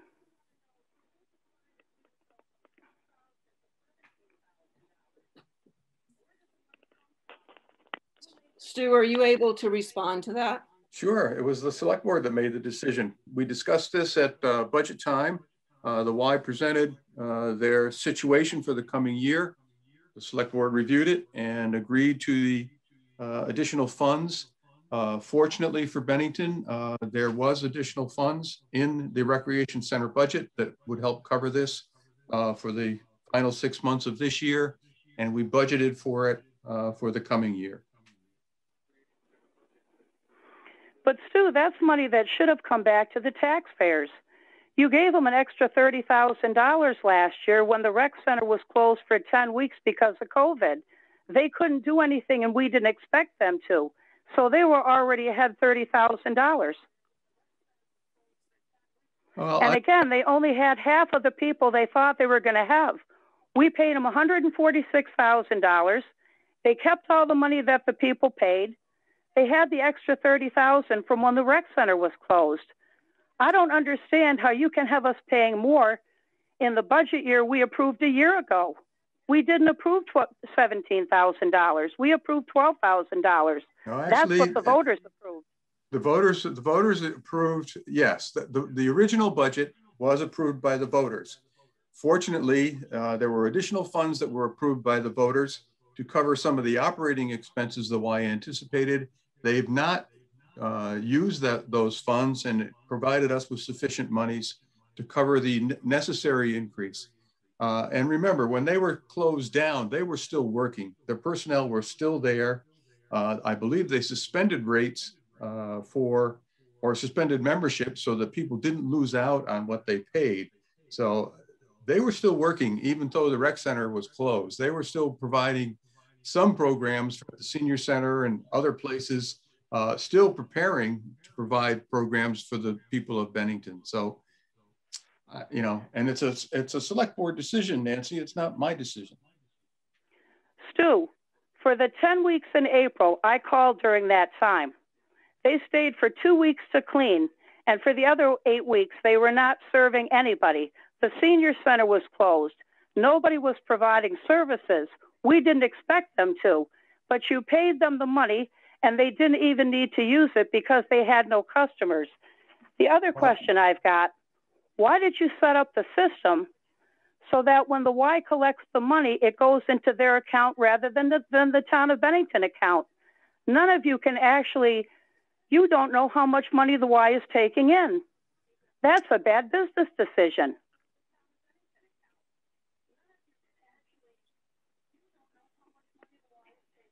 Nancy, do you have any other questions?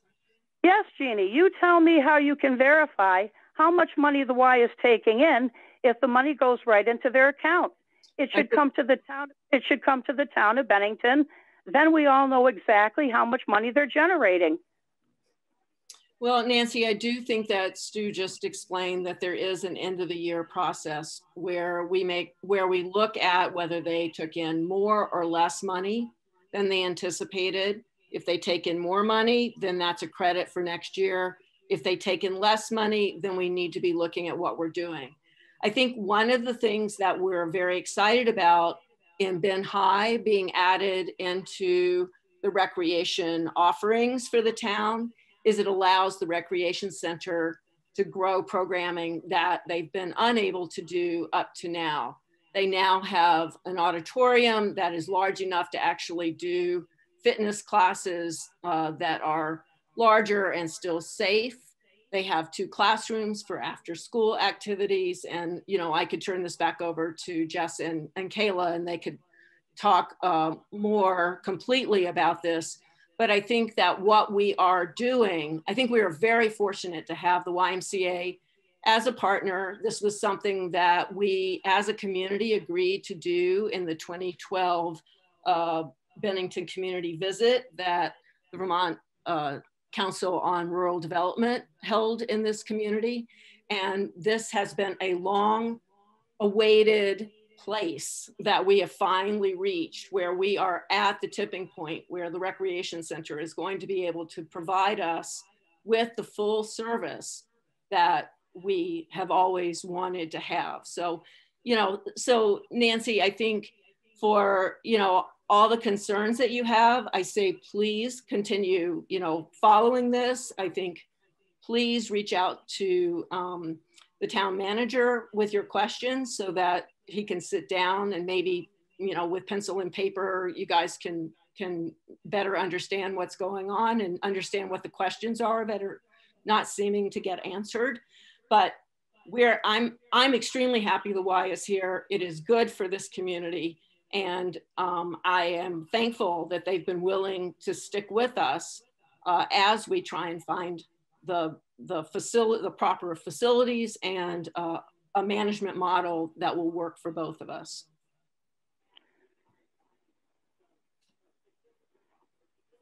Any other questions? Yeah. I called before we voted and asked why the why for three years has provided us no documentation on paper on what they're doing. I want to know how many memberships they sold, how much money did it raise, how many people went to summer camp, how much money did that raise? Our own recreation always provided that information. I should expect the Y would want to jump at that chance to prove what they're doing. I don't I still can't tell today if the Y is worth it. They're getting paid all this money. They're keeping all the money that citizens pay at our taxpayer funded facility, and nobody wants to provide documentation.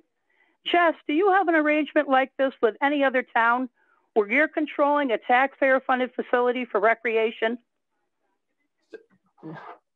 Jeannie, I, I, am going to have to step in here and Shannon. Yeah. Uh, what Nancy has said is completely inaccurate. All that information has been shared with the town staff and with the board, and it's publicly available. So I, I just don't, I just don't think it's appropriate to allow that misinformation to go unchecked. So I just have to. I'm sorry, I had to just step in there. No, I, I agree, Dan. And I, um, so Nancy, I really urge you to sit down with the town manager and uh, and review the the materials that have been shared over the years with the public.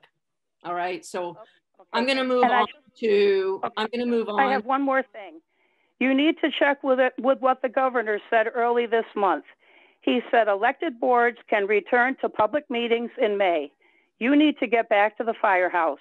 and right. I was the person, I tried to call in at the previous hearing. It didn't give me the prompt to raise my hand. I can't believe you just pushed that through most of the citizens of Bennington have absolutely no idea what you discussed and what you're going to be dumping into our neighborhoods. Nobody talked to us about Eveready. Our neighborhoods are overcrowded, and you didn't even give citizens a chance to call in and ask, answer questions. Nancy, thank you for your comments. I'm going to move on. Move on, Jeannie. Give the rest of the town away. Thank you. Let's see, Shannon, you have your hand raised. Thanks, Jeannie. Um, one thing I just wanted to point out, I think that when you're looking at that chart and looking at the cost for a Y membership, I feel like a few of the comments are, you know, um, talking about, you know, this, this great disparity. Let's remember that Y runs they they run a Y. The Berkshire Family Y runs their programs in Pittsfield and North Adams, which have very similar demographics to Bennington. Okay, and people pay for Y memberships, and if they can't pay, they get scholarships. All right, the Y is not an elitist institution. This is how much it costs to to run a facility that has a swimming pool. And at this point, we don't have a gym yet, but we will with Ben High. So I think if you look at those numbers and think about it that way and realize what an amazing deal the residents of Bennington are getting with their rec center memberships. I think that's just an important thing to recognize. And I think Kayla brought that up in the sense of it really costs a lot to maintain the facility that we have, and it will cost more to be able to offer more. But that's what the people of Bennington want. We want to expand recreation, and that's why we brought the Y in. And we paid our own staff before we paid Y staff. But in my experience, since I've been with the town, I've seen the Y do so much. We had almost no documentation um, before of our of our memberships. We didn't have anything in databases, you know. So this is um, they've really come in and and transformed our system, but it takes time. And I, I just want to back them up for all the work that they're doing. I appreciate that, Shannon. And if the select board decides that they want more documentation throughout the year on financials, like we can do quarterly updates, we can do, you know, every six months, what, whatever is needed, it's all in our system. And that's the benefit of using Daxko Operations, which is our membership database. And we're able to pull that information extremely easy for you, in addition to what our membership you know what our membership numbers and kayla did break that all down um, and showing what who was Bennington resident, the non-residents, people outside in New York, like all of that information we have at our fingertips based on our database. And so we have been coming in, we have been giving the updates to the select board when we're invited. And we also have been communicating um, consistently with the town in regards to where we are with membership and programming um, and providing those updates. And so um, I feel like we have been transparent and we've been providing what we've been asked for. But if we need to look at that, um, I'm happy to have that conversation, Jeannie. So just let Thank me know. You. Thank you. Yeah, I agree. You have been more than transparent and more than patient. Um, Jean, I see you have your hand up. Yeah, this is just going to be brief. And, you know, you can be not us, you, but people can be happy or unhappy about the situation at the rec center. But we signed a contract and you have to abide and you have to um, pay what you're supposed to pay when you signed on the dotted line. And, you know, I, I'm so sick and tired of this conversation. I really am. You guys are doing a fantastic job. Um, I'm curious, the people that seem to be so unhappy, how often they go to the rec center and use the facility. I, I don't know the answer to that. I would love to know the answer to that question. But um, we signed a contract. We will pay you what we owe you, and we thank you for what you've done for our town. Thank you.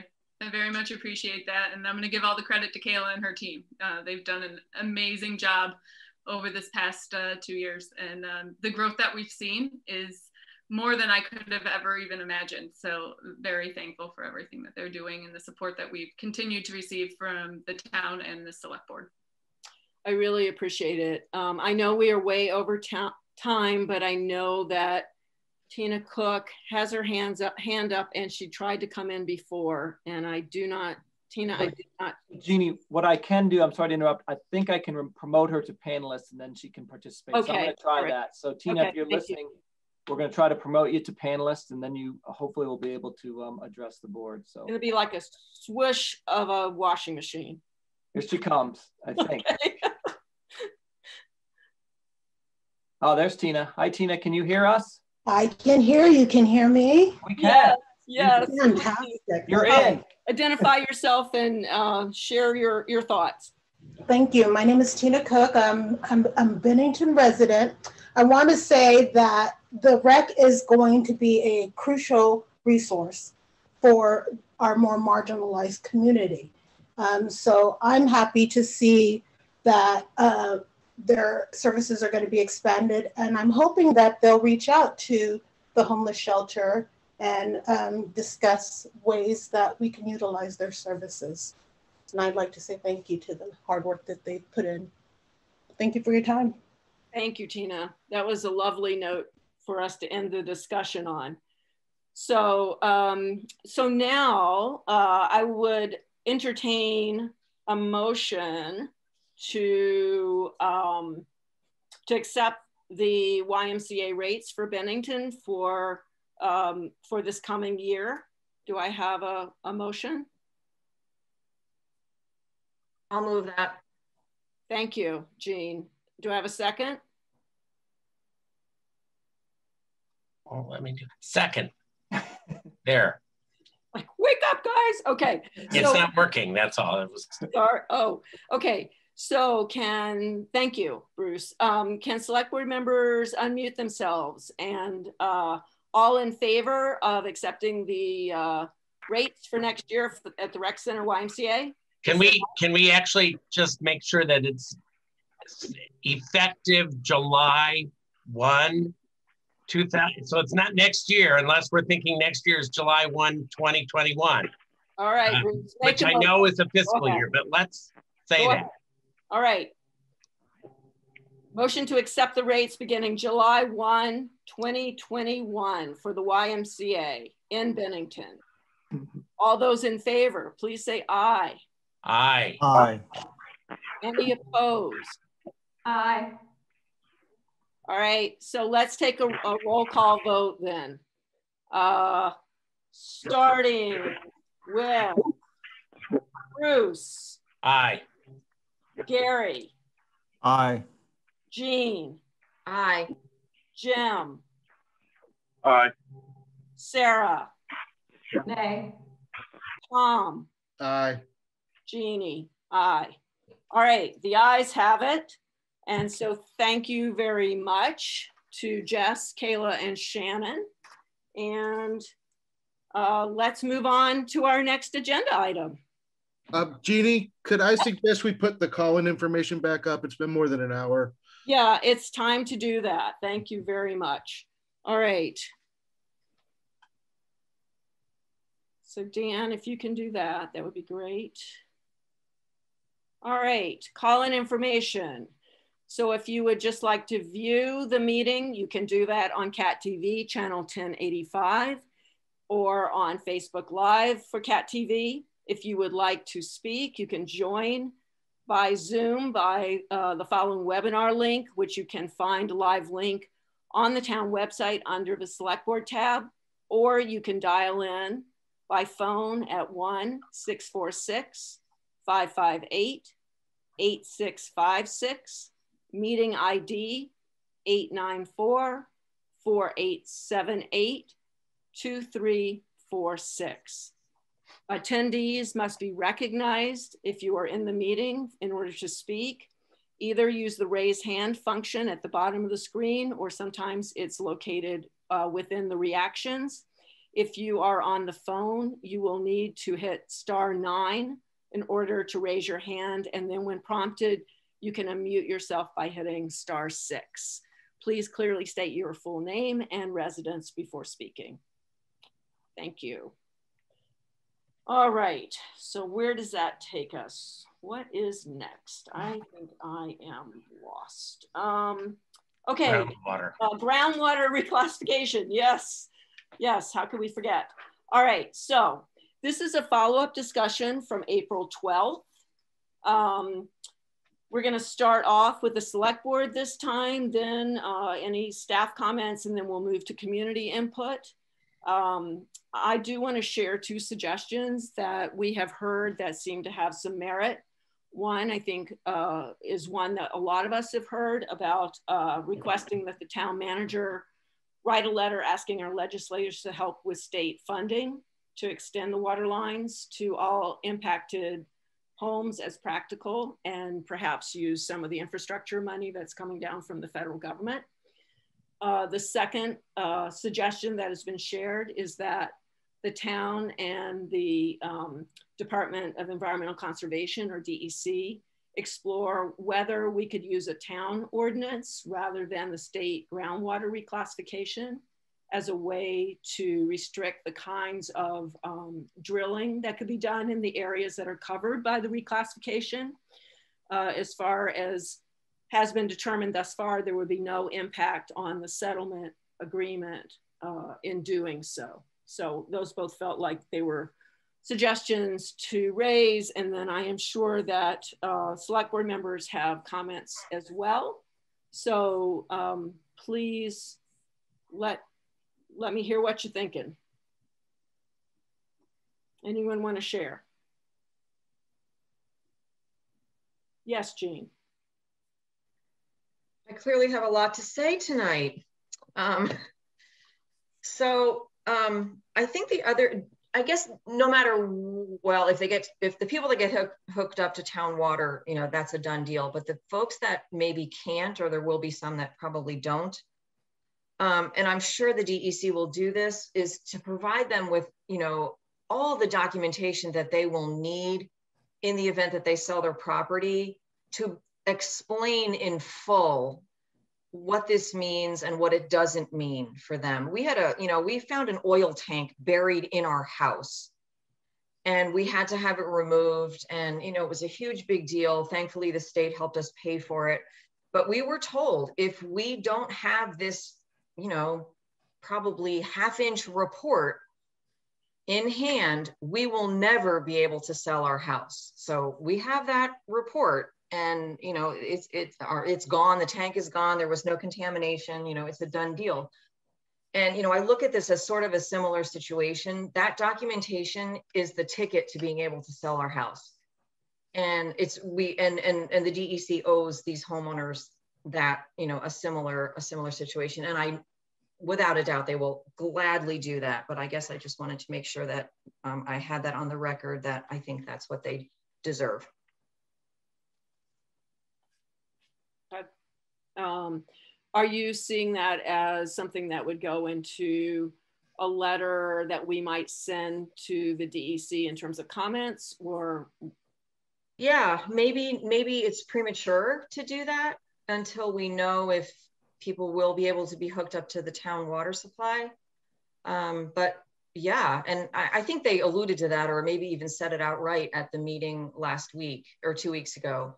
Um, I just wanted to reiterate that how important that report will be um, for them. Okay, all right. Bruce, I see you have your hand up. Yes, um, thank you. Um, I have been concerned about this since we've heard about it and actually a little bit before that. Um, and basically, I think I, I, see very few alternatives other than exploring uh, all possible alternatives to expand our own water system to, to be able to serve as many as, as is physically possible to do. And I know that, that, that certain areas that becomes a real issue of engineering and cost and therefore cost. Um, so I will strongly support the notion of seeking uh, funding from the state or from the feds through the state. Uh, and I will strongly uh, urge us to, to try to find ways that we can to expand our current system. Uh, and, and knowing that, that that there are, you know, some homeowners will take the option of just using their well uh, and uh, because they can. Um, I also, I, I, would agree with Jean, um, the letters that, and I can't remember the term, there was a, a slight term of art that uh, I can't remember, I think it was Richard, may have said, uh, used uh, with regard to uh, at the time of sale. I actually think that uh, some communication ahead of time that also says, by the way, when you do come to the point of sale, we'll also send it to you again. So you, you don't have to be like Jean and holding on to this packet of material in some safe deposit box somewhere. Um, it's just really important for the sale of those houses. The fact of the matter is, Saint-Gobain and its predecessor corporations polluted the land and polluted the water. And the folks who are residing there in our town and in the neighboring towns are not at fault and therefore should be held as harmless as is humanly possible. And that's what I think we need to make sure that we express, that, that we understand that, that the sale of those properties eventually uh, need to be accompanied by the hold harmless type of letter that DEC can provide. And we should be seeking to expand uh, the water system because our job, it seems to me as a town, is to provide clean, potable water wherever we possibly can. And I know that creates all kinds of other issues, um, but I think that's the best way to go. Thank you. Thanks, Bruce. Um, Gary, what are your thoughts? Um, the I, I asked this question before, but what what the uh, last week, uh, two weeks ago, um, was what is the impact of the new regulations in terms of cost for somebody? So if they sell a piece of property, what is, what extra expenses are they going to incur to drill that well and to meet those new requirements, which shouldn't fall. It seems to me that, um, as Bruce was saying, it shouldn't fall onto the people who own that land, uh, who sell that land, or who have to drill a new well. That that should actually be covered, uh, at least the increase part of of a well ought to be covered by St. Gobain and uh, the settlement.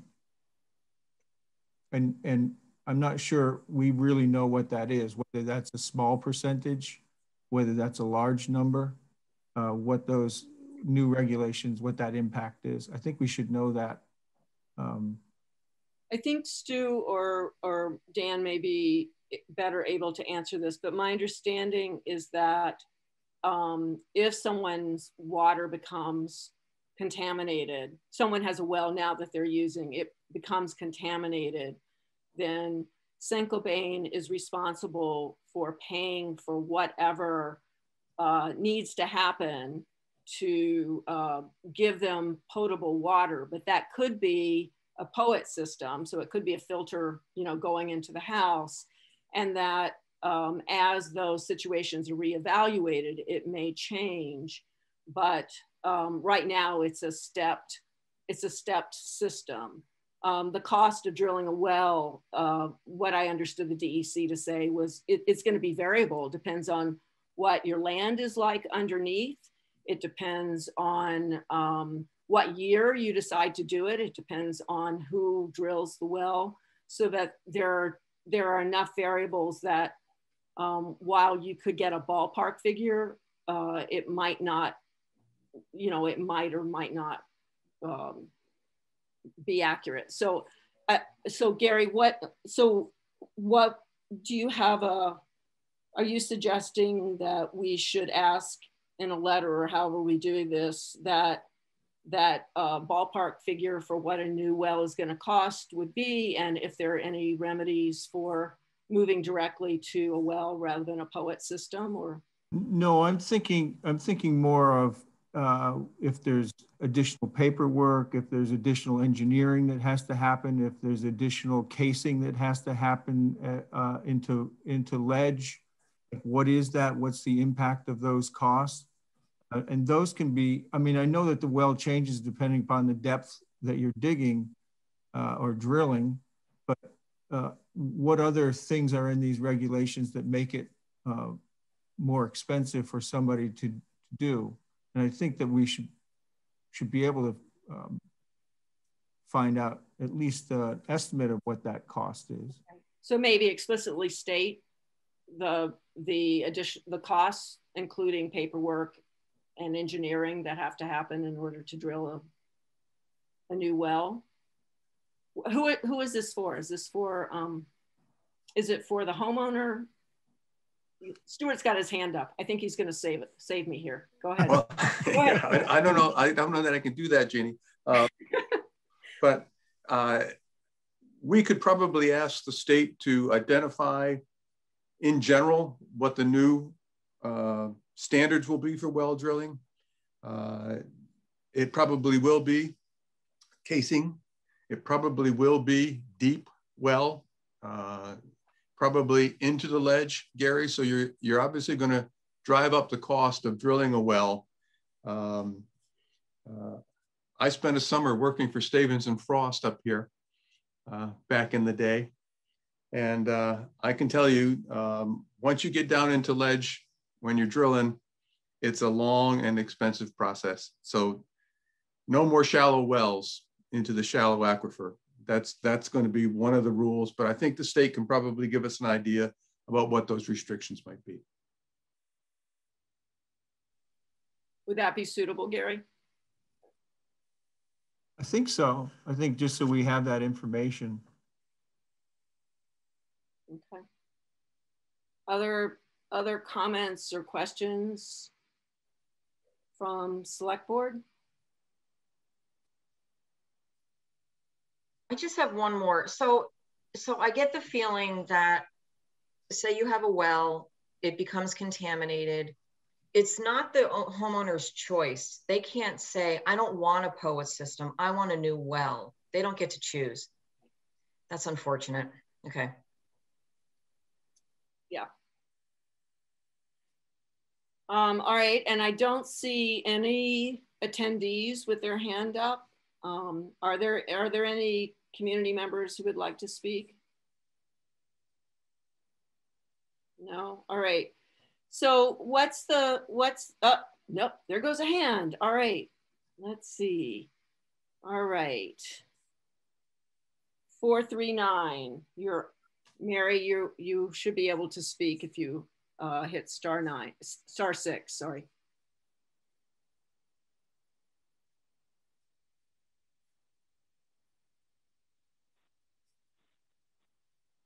Okay, right. can you hear me now? Sorry, yes. I forgot that I was muted. Um, just wanted to re remind folks that the PFOA public hearing is going to be for those affected, and obviously other people can listen to that meeting as well, is May Tuesday, May 11th at 6 p.m. And uh, it is um, another public hearing that we had made available. I had it made available so that the folks who are affected could have another chance to um, present, uh, you know, where the, what their thoughts are on it.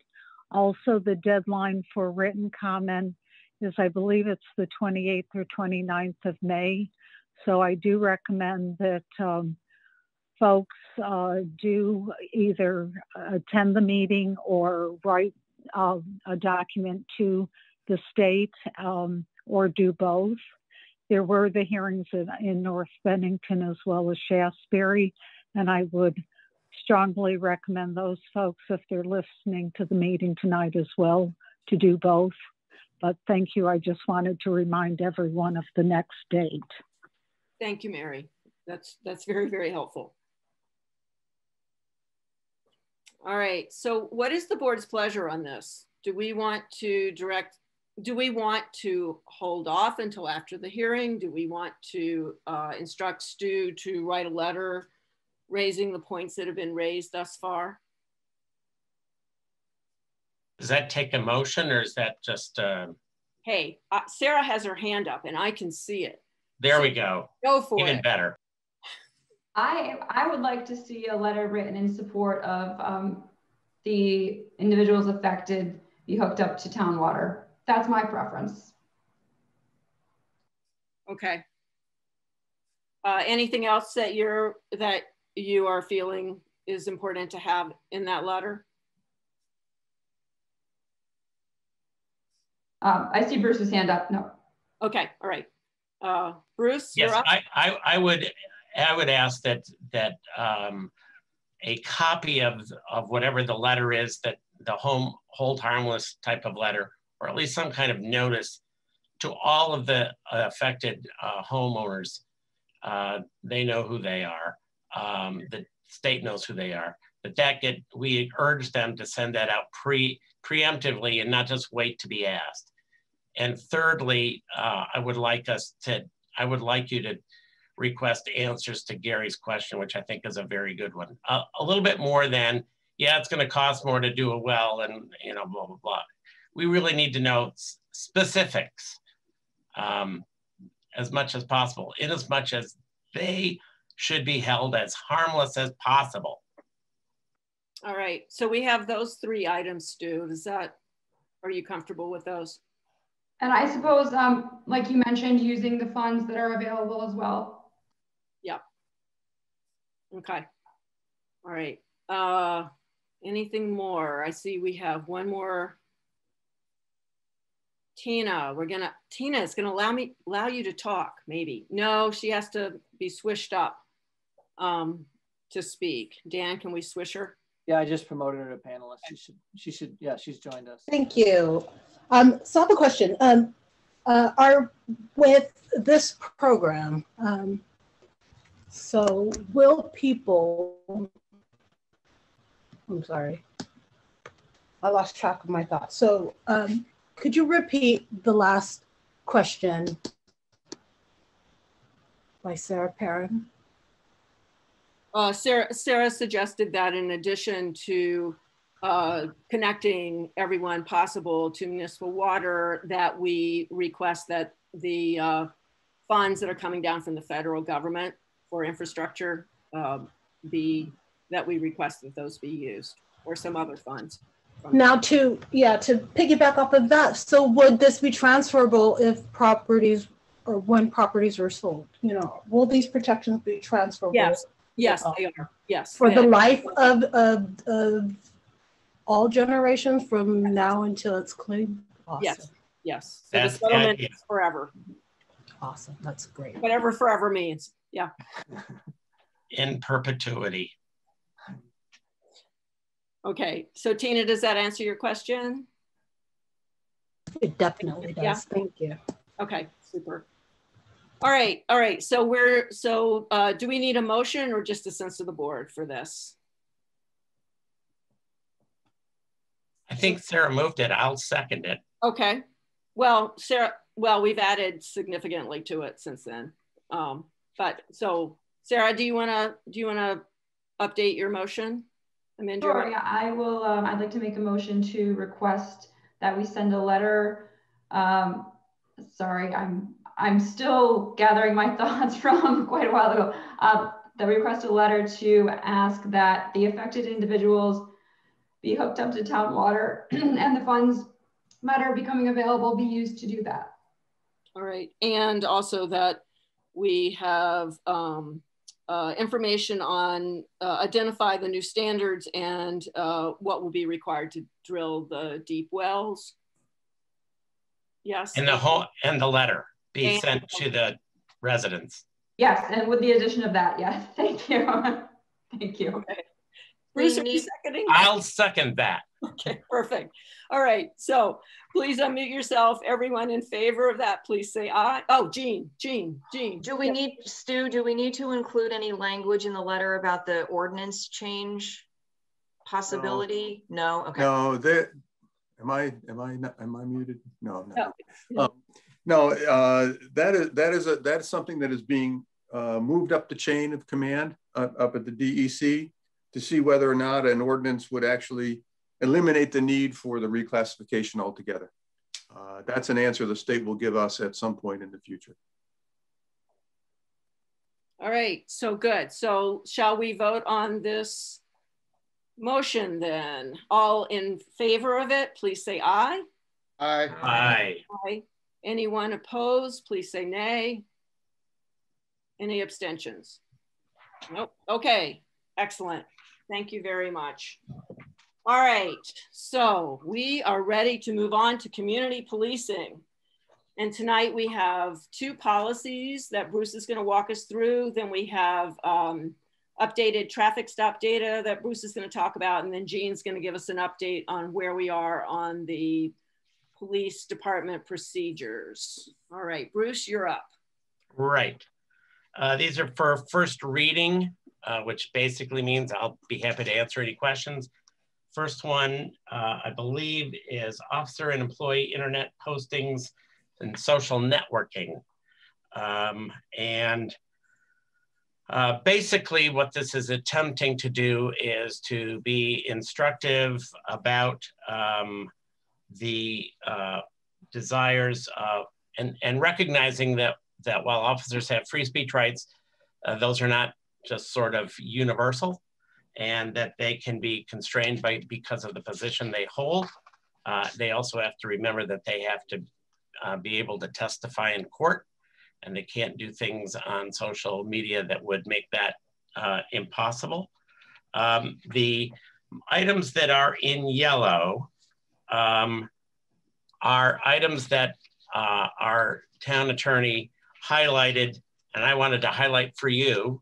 Uh, and I added the term, uh, he thought that the perhaps on, on page one at line 21, uh, indicating their participation in any social uh, networking sites was a little too vague. So I, I used the term active. I'm not sure that that's going to do it, but I think it's better than, than what was there before. Um, the, uh, the addition also on page two of uh, or number three, item number three under policy. Um, that number three, social media networking sites shall not be used, blah, blah, blah.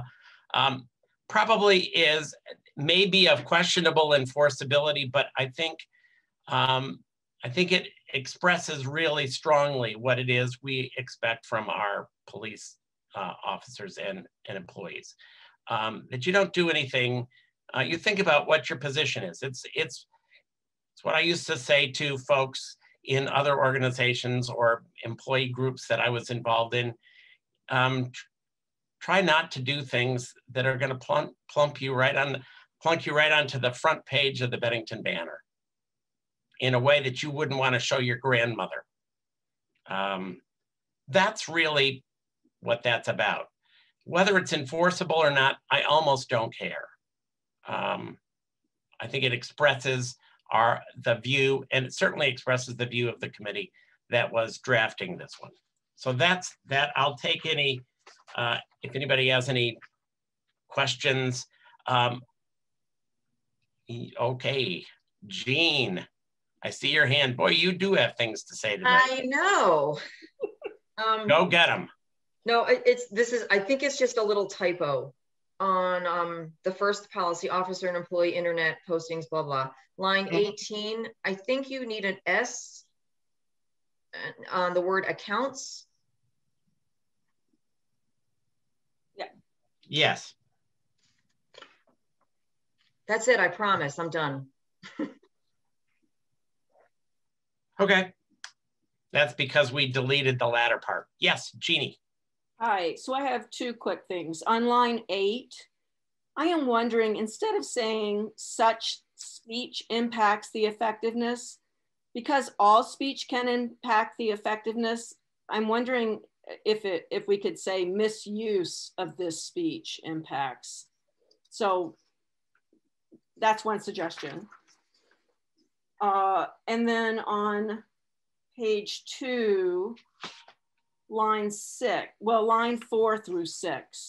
Right. So, so BPD employees must never engage in hate speech or other speech. I'd like to move on any social network to that spot so that it says or other speech on any social network, network that brings discredit upon. Um, by by having it at the end of a sentence where it is right now in six, yeah, it, it, it's it. I have trouble understanding it because it says uh, which may undermine or result in impeachment of their testimony in illegal proceedings on any social networking. Yep, okay. I, I, see. Yep. Okay. So so put it. Tell me again, just precisely so where you think it would go. So, where you think it would go. Yeah, line four. BP uh-huh. employees must never engage in hate speech, comma, or other speech on any social networking site. Okay. That yep. brings discredit. Okay. Yep, that's fine. Okay, that was it. Great, thank you. Um, and let me just add to a conversation that's been going on. I actually do think we do have a code of conduct, obviously, uh, and with the Bennington PD, or at least we're, we're working on, we're redrafting it uh, when, and we have a redraft in the works that you'll eventually see. Um, I would say that that is not the same thing as a code of ethics. Um, and, and my, um, let me, uh, I, I can quickly just say that the code of ethics, I think is, a, is an even broader umbrella of these are the principles that we actually, foundational things that we believe in. Uh, and I actually think the Bennington PD has a document that fashions very much like or functions very much that way even now. It's just not one that anybody has adopted. So um, we can work on that, I think, uh, and that may resolve that. Conduct is drawn from, the code of conduct is drawn from a code of ethics. This is the way the IACP sees it anyway. So Bruce, why don't you, you may want to hold that conversation until we get to code of, of conduct. Right, I, I just, I will say it if only because it's referred to up above in okay. the in the reference. That's why oh. I, I, raised it. Okay. And Can it's I... been raised. It's been referenced in a number of others. Okay. Um, so um, we but... have one. We have one attendee question. Oh. Okay. Sure. Um, Dan, we're gonna have to move uh, Tina up. Thank you. Um, so do we have any language about um, social media use while on duty? I couldn't find it. This is social media use, whether you're on duty or not on duty. You, you, you're not free to just use social media while you're on duty anyway. But so this would refer to any social media use, whether you're on duty or in other words, let me put it this way, Tina. Um, I actually think that the notion, uh, and and I think Dan uh, Ferrara would back me up on this, the sort of separation that we in the civilian world think of as being on duty and off duty isn't really a distinction. They're, they are held to the same conduct levels, whether they're, whether they're, uh, they certainly shouldn't be on social media when they're patrolling because that you can't do. Um, yeah, I know that um, corporations do put this language in there. Right but, but that's because corporations work on a, I will put it this way. Let me put it sort of this way. And then, I mean, it's an interesting question and it's one that I can actually take back to the committee. Uh, but corporations, when I'm working for the corporation, let's say uh, if I was working for Energizer, um, they would have one rule about that and it would be an entirely different matter when I wasn't in the building working for them. Um, police officers don't are not supposed to be functioning that way. Um, they're actually police officers 24 hours a day, seven days a week. And that's how the statute gets read in Vermont. So this would count. All, in fact, all of our policies would count no matter what. And that's what Dan, I think, has said over and over again. But if you'd like something more specific, let's say, about on duty use of social media that's not duty related, um, email me and we'll and we can work out some language perhaps that I could then share with the rest of the drafting committee. I wonder if there's um, a national standard. I will definitely research. Actually, that. this is where the this this document really reflects the national standard from the IACP. That's interesting to pursue. Yeah. Not, oh, not a problem. Be happy to do that. Can we move on to the next one? Everybody ready? The other one is um, special oh this is something that we have not had before this is so this is new to us and it really is reflective um, it's the um, special events and it it's a it's an attempt to regularize what is now an occasional practice and so it's regularizing uh, and the places where um, our town attorney suggested we might um, the one place that I knew he wanted us to be thinking about is, is there a size issue here? I mean, and what, and what, what size of event? And I know that the um, committee thought about that and thought about that, and I'm not sure we came to anything. So if you would look at line 14 uh, and 15 of, of page one, um, that says where more than 50 persons are expected to attend. That is a number wholly out of my, um, the right side of my brain. And, and you should not take that as having any more authority than that. Um, so I had it there essentially as a placeholder. Um, I've had some communication with people on the committee and they think 50 is fine. Others think 20 would be a better number. Um, I I remain clueless on this one, and I'm happy to accept any and all suggestions. Eventually, we'll have to make a determination. Any uh, any questions, comments? Jean. Surprise, surprise. Um, I don't know how to say this, uh, but I'll. I'm just going to say it. Let's say it. It it depends on what 20 people or what 50 people. Do you know what I mean? Well, that was our thought. I, I know what you mean. I mean, it depends in part about what we're talking about. You could have 300 people. That would be less of an issue than 20 people in some but, instances. But if you look at, uh, okay, Jean, I'll, I'll give you that. I just think if you look at the purpose behind this, it's really to help the organizer of the event communicate and plan with the PD so that the PD is already prepared and they know exactly who to communicate with. So I think we do have to have an, probably a number um, or no number and say everybody has to do it uh, if it's a planned event, which I'm not really fond of. So I would rather us have a number. And, you know, the idea is so that, so that at a, um, the food truck event or the uh, gay pride parade, or I mean, we were thinking of any number of, of events that happen and that utilize public property.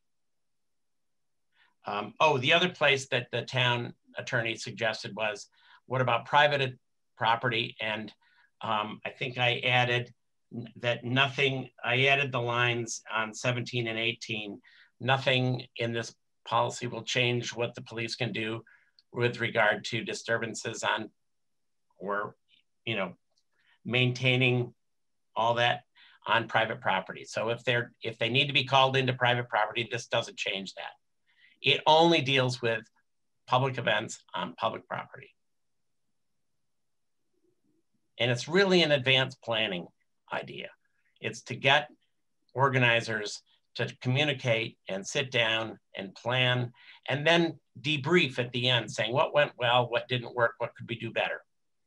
Which and I there's think- no there's no requirement for the purpose of the event. Demonstration. No. No. Because I don't think I don't think we um I, I can't imagine that we would want to be in the business of trying to determine what's an appropriate purpose of an event. No, I'm not saying you would determine it was inappropriate or appropriate. That's that's subjective, and that's that's not.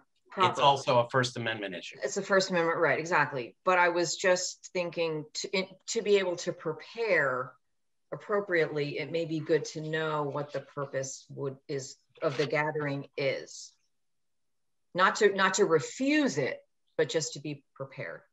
Well, that I mean, I think that's what the conversation between whoever at the PD is working on this and and their applic they can ask that question in an application that they will prepare. Perfect. Didn't know that's that. part of the procedure. Didn't know that. Okay. Sorry. Uh, Sarah.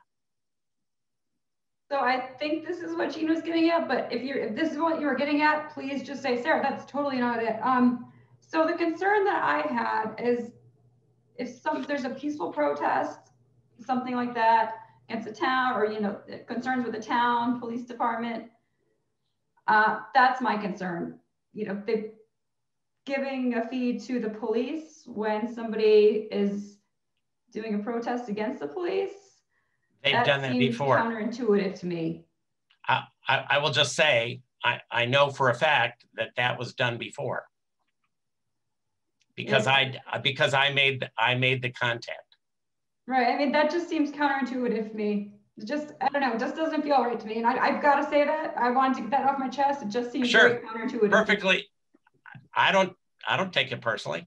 Sure. No, no, I know, but I just yeah, I want to say that. It just seems very counterintuitive. Right. But actually, in many, many communities across the country and many places where I've lived, it's really even when the purpose of the demonstration is going to in, is going to be demonstrating against uh, some activity of the police department. Uh, it was always helpful to let the police department know that that's what you're going to be doing. Yeah, I, I agree. It, it um, to let somebody know that's going to happen, but to pay somebody when you're not, not, paying. Well, okay, you may not. There may not be any fee at all because it may not involve any. You're not asking them for protection. Okay, all right. Yeah, you will have. This one is going to have to wait for a lot of the procedure to come out, so you know what what the application format will be that the okay. police department asks. You know, if we're doing a demonstration down at the Four Corners, there's no cost to the police and therefore no fee. Okay. No, I just saw the fee schedule and I just, and yep. then a demonstration. And just, I just, I've got to get this out in the meeting and just say, this does not feel right to me. Okay. And you and I can talk about it some more if we want. Anything else? Yes, Jeannie. Hi. Um, so I have a couple things. So one, I was a little confused. I assumed in the beginning that, that demonstrations were covered under special events, but I see they are both identif they're both they have separate definitions and under the purpose, we separate out special events and demonstrations. So I'm wondering if the title should be special events and demonstrations. Uh, because we do seem to not, we differentiate between special events and demonstrations right. throughout here. Okay, so that's that's one thing. Um, second, I think I would probably be in favor of reducing the 50 to maybe 30 or something, some, something along those lines. 50 people is a lot of people for Four Corners, for instance. I agree. You know? um, uh, and then under crowd control, um, if I, I, guess I would I would like um, additional language. So I'm thinking under crowd control, something like techniques used to ensure the safety of those at an event by addressing civil dis disturbances to include a show of force, that sort of thing. I think I would like to explain why we're doing crowd control. Yep. Um, I think that's helpful. Okay, and then uh, just a typo in line 16 with liaison. Uh, and that is it. Oh, oh, one more thing. Um, under demonstration on line nine, would it be helpful uh, to say these may be, but not limited to scheduled events that allow for law enforcement planning? Sure. That's it.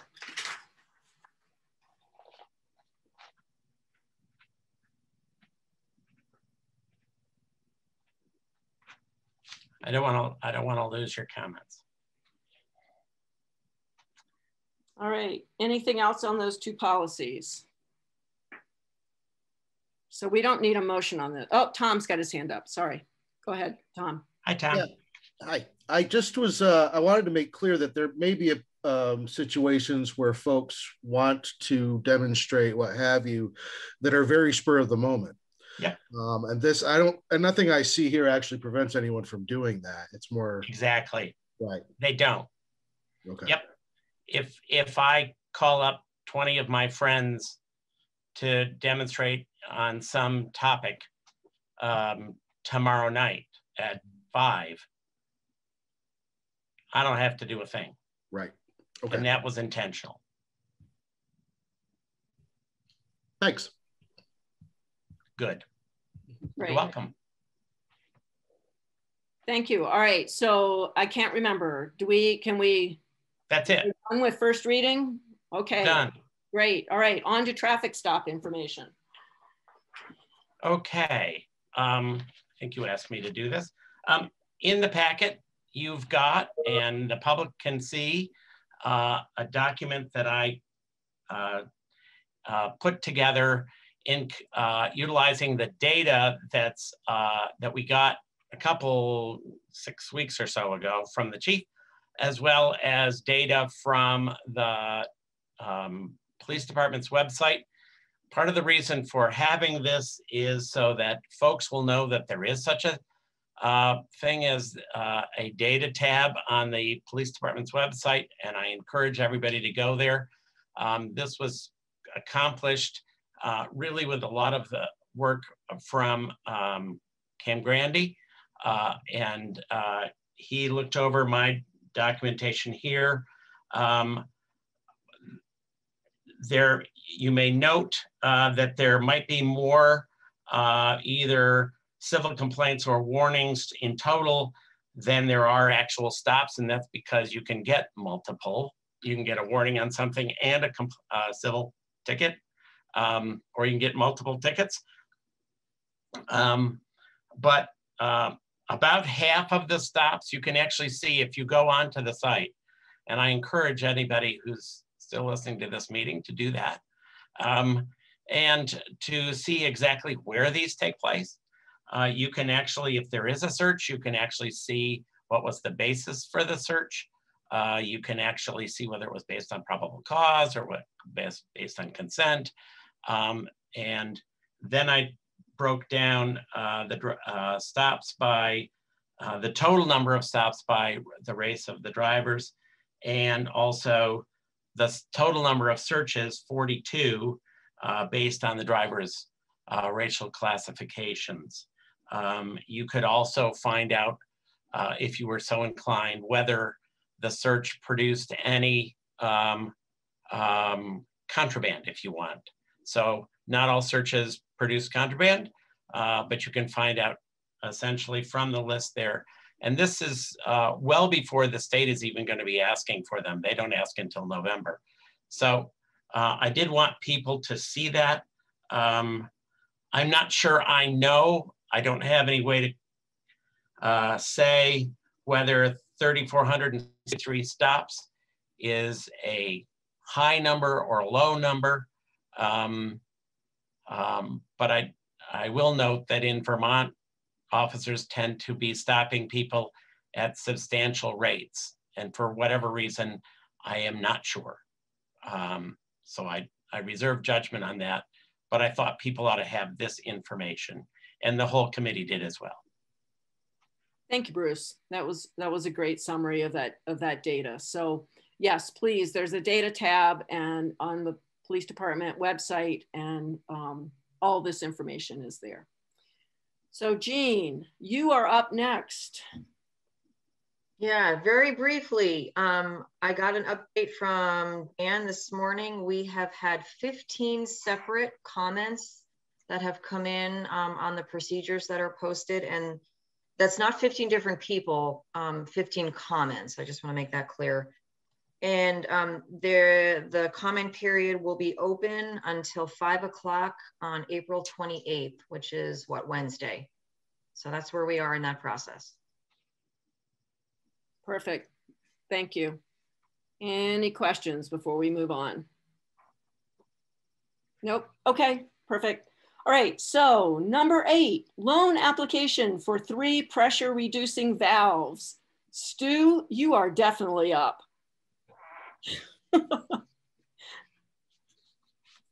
Thank you. Uh, you have in your packet the, the memorandum and a copy of the loan application. This is relatively straightforward. Uh, we have one pressure reducing valve that is currently located in Burgess Road uh, that is very, very critical condition and needs to be replaced. Uh, when we began to look at that with our engineers, uh, it, it, came to everyone's idea that we should pro probably take a look at the other two pressure re reducing valves in the system to see whether or not they too may need some work. So what this loan application contemplates is a design step one and two of three projects, uh, more than likely just two when you get down to it. Uh, one would be to, to redesign the and relocate the pressure reducing valve on Burgess Road um, and potentially look to include an electric, electrical generating turbine within the pressure reducing valve itself. Uh, the second major project, and it's not probably not major, would be look at the Willow Park pump station. Uh, the turbine there is, is in fairly good condition, uh, but that also could, you could consider adding a turbine uh, to that uh, pump station which would generate electricity for the town in both those situations. Uh, it now appears just preliminarily, and we'll confirm this when the design is completed, that the Fillmore Street uh, pressure reducing valve does not need much work, just some maintenance, and is really too small for a turbine. So uh, what I need from the board tonight is just a motion to authorize the chair to sign the application. And then once that is done, uh, uh, yours truly as the authorized rep and the town clerk must also sign, and then this goes in. We're talking about a total uh, fund application here of $27,906. It does uh, open the door for access to a total of over 400,000 should we go in that direction. Thank you, Stuart. Do I have a motion to that effect? I'll move. I authorize the uh, chair to sign on our behalf and for Stuart to sign as the representative. Second. Second. Thank you, Tom. All right, so please unmute yourself. All in favor of this motion, please say aye. Aye. All opposed, please say nay.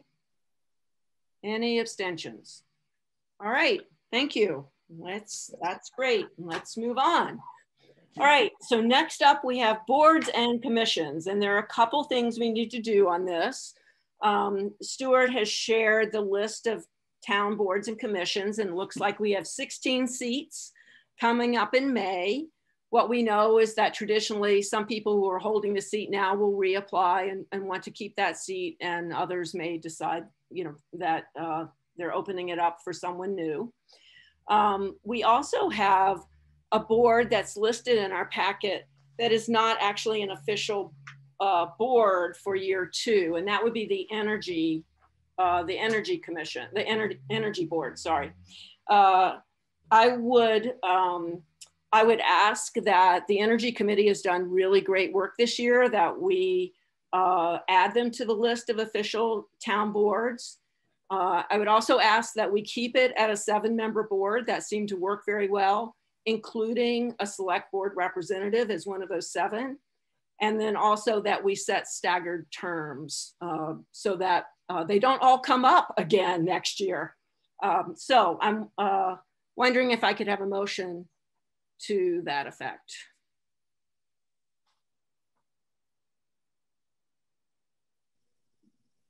I'll move that. Can Thank we also, as do we need to, we need to come up with some sort of text for Yeah. them. Yeah, yes. So, so can- can we second and then let- let's, yeah, Yeah. let, us do some discussion. I'll second that. Okay, okay, so now open for discussion. Um, so we'll need, yes, so we'll need text for them, which I think we um, will have to amend that first year charge. So we will need text and we also will need to determine what kind of staggered terms. Um, I don't know if we want to do like four, two year, two, three year, and then a select, a one year select board That, appointment. that makes more sense to me right there. Um, four, four, three, three fours, three threes, Yeah, and we a can- one. yeah, we can do that. Um, all right, any other thoughts about anything before we vote on this? No? All right, so uh, let's, could I have a show of hands, all of who uh, approve adding the energy committee with staggered terms, seven person, one select board member, please say aye. Aye. Aye. Aye. Aye. Any, uh, all opposed? Abstentions? And Jim, I think I missed your hand. Did you have something that you wanted to say on that? My apologies. No. You asked us to raise our hands Oh. rather than say aye, so I just raised my little yellow hand. Thank, thank you, Jim. Thank you. All right. Okay. So, all right. So, yay, the Energy Committee is now added to our town boards. Um, we have, so we need to set, we need to determine who we're going to interview and set uh, a date to interview candidates. Um, generally, in the past, we have not interviewed candidates that are reapplying for the same position or have been long term board members. Um, but what's the pleasure of the board? What would you like to do? I think we should do the same thing, not interview people that have been on the, on, um, been seated on a board already. Okay. Okay. Anyone have any other thoughts on that? All right. Seeing none. Uh, so assuming we are only interviewing new board members, um, would it work to do Zoom interviews on Monday, May 17th at six, which is our, our off Monday? If it doesn't, we'll take this offline and find a, and, and do a doodle poll or something. Yeah. Jeannie, you may, yeah, may, you may not want to set that date yet. Um, Okay. this will be, this will be posted. Okay. It's so that'll, and, and obviously the, the people who work with these committees will be not, uh, letting them folks know that the reappointment process has begun. So we, we may want to hold off until uh, either May 31st or no, that's Memorial, oh, okay. isn't it? we can, we'll, we'll figure it out. Okay, all right. Is there a, a closing date for the um, applications? Uh, we should, yes, we'll, we'll post it for, so that they uh, apply uh, no later than, uh, how about something like May 20th? Okay. Tuesday. Does that, Does that work for everybody? All right, and then we'll set a we'll set an interview date after that. All right, and there's no problem because board members will continue to serve until until reappointed or or until they are replaced. Okay, perfect. All right, great. Thank you. All right, then Stuart, you are up next with the manager's report. What do you have for us tonight? Um, one action item for you. Uh, last year, uh, in in and about this time, uh, we voted to waive the interest on delinquent water sewer payments uh, from January 2020 until December 31st, 2020. Uh, we have done so. Uh, the last water bill for this current fiscal year is just gone out. Uh, and I'm, I do not have the date, but I'm, it'll be due by the end of June. So within this fiscal year, uh, we will be continuing to waive those delinquencies that occur. Um, my finance director has asked me what we do for the ensuing fiscal year. And I am recommending that we reinstate the interest on delinquent water sewer fees beginning July 1 of 2021. Okay. Does anyone have any concern about doing that? Tom, you have your hand up. Uh, do we have a, an idea of how many people this affects? Uh, not off the top of my head, Tom. It it it costs us about five to six thousand dollars annually uh, to do this. Um, if I'm remembering what Melissa tells me. Um, and interestingly enough, we thought we would see a greater delinquency last uh, last year, and it did not occur.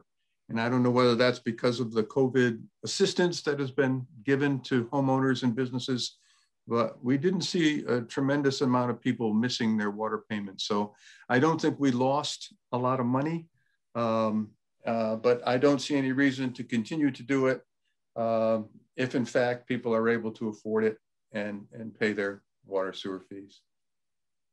Sarah, you had a question. Yeah, I, I think um, I was just thinking about this when I, I read this and I was just, you know, I, I, we did not expect this to go on as long as this has, but um, it might make sense to say at the conclusion of the state of emergency. That's my thought.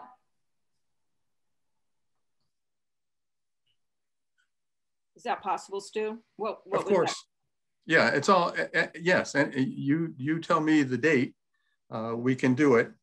Um, I, we, I generally think in terms of fiscal years, but that's, that's because I work in terms of fiscal years. But um, yes, if, if in fact the governor's projection of July 4th as, as the magic date, uh, then we'd be right on um, and no problem. If it continues until September, I don't think that hurts us at all. It's another quarter.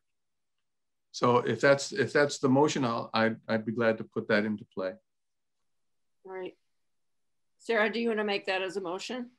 Um, I, I, you know, hopefully it doesn't go past July 4th, but um, does, do you think that makes sense just to put in at the conclusion of state at the conclusion of state emergency? Yeah, yeah. What we would do is we would we would probably go since we bill quarterly, we'd probably carry it through to the end of whatever quarter we were in. Okay. Reinstate at the end of the quarter. And then possibly just revisit if uh, it, I'm looking for a motion so that I have a date somewhat certain in which to okay. read. I don't have to come back again and, and ask once again. Okay. So hopefully we won't have to revisit it, but yeah. So the motion is, so, and I see Jean has her hand up. Uh, so the motion is to extend the uh, um, extend waiving interest on delinquent water and sewer payments until the end of the pandemic emergency. As, emergency. Yes, to extend it to the conclusion of state of emergency. I would second that. Jean, were you um, were you seconding something, or were you? Did you have a comment? Yeah, I just I just want to know, and and this has really nothing to do with the vote, so I can wait if you want me to. Um, yeah, why don't let's vote then? Okay. Okay. So it's been firsted and seconded. So all in favor of the motion, please say aye. Jim. Aye. Aye. Aye. Any opposed? Please say no. Any abstentions? All right, great, thank you. All right, go ahead, Jean. Yeah, I just wondered, um, Stu, if people are really struggling at any time, nothing to do with COVID, but let's just say we have a resident who's really struggling to pay their water bill, um, they can set up some sort of a payment plan. There's there's options for them anytime. Anytime, yes.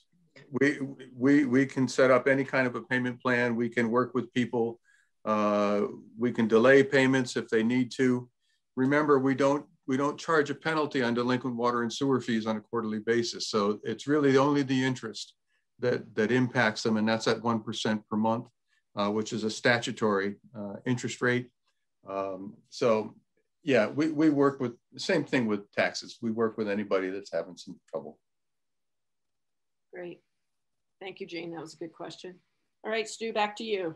Okay, uh, down below in the informational piece, uh, I talk about sidewalk construction, and it was a paving cost comparison that that RJ uh, Jolly, our public works director, put together for for Dan and I.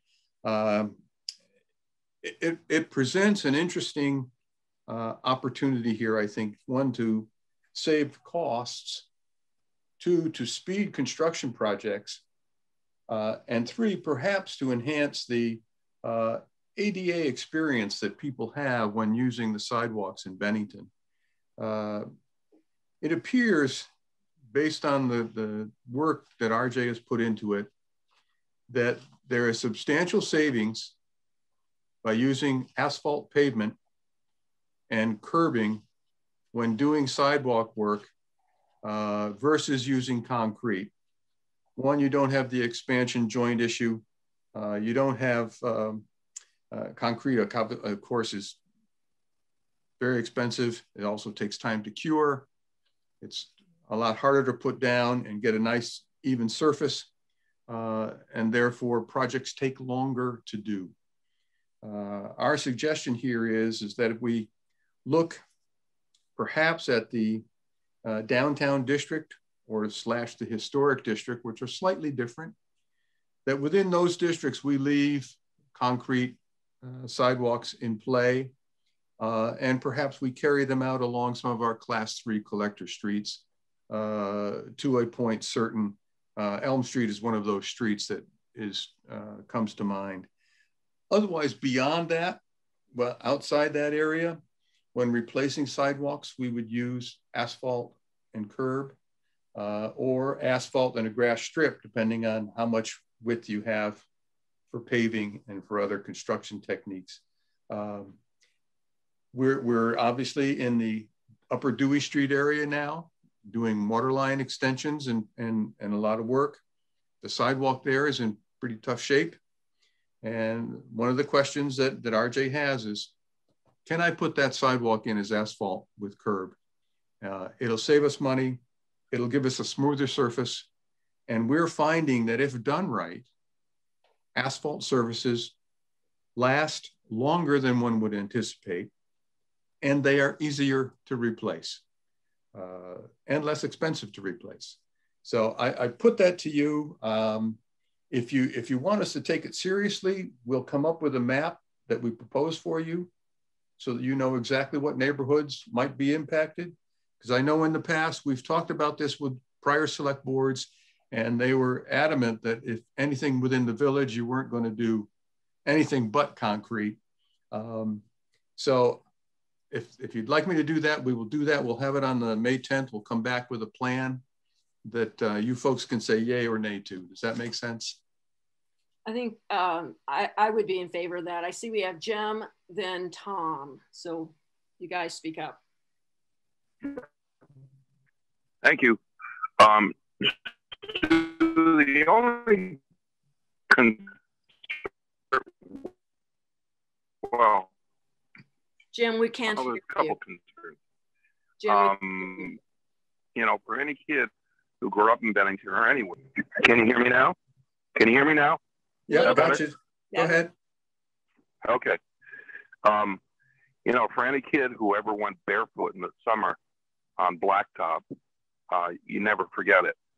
Um, you know, it burns your feet, and uh, if you if you're walking a dog, it's going to burn their feet. But you know, Stu, in, in my uh, early college years, I worked on the highway crew, and uh, what was done um, to ameliorate that was, you know, the blacktop was laid down, then a coating of tar, and then um, pea stone on it, um, which made it more reflective and um, less hot. So um, I'd like you to include that uh, in um, your deliberations on that. We can do that. Thanks.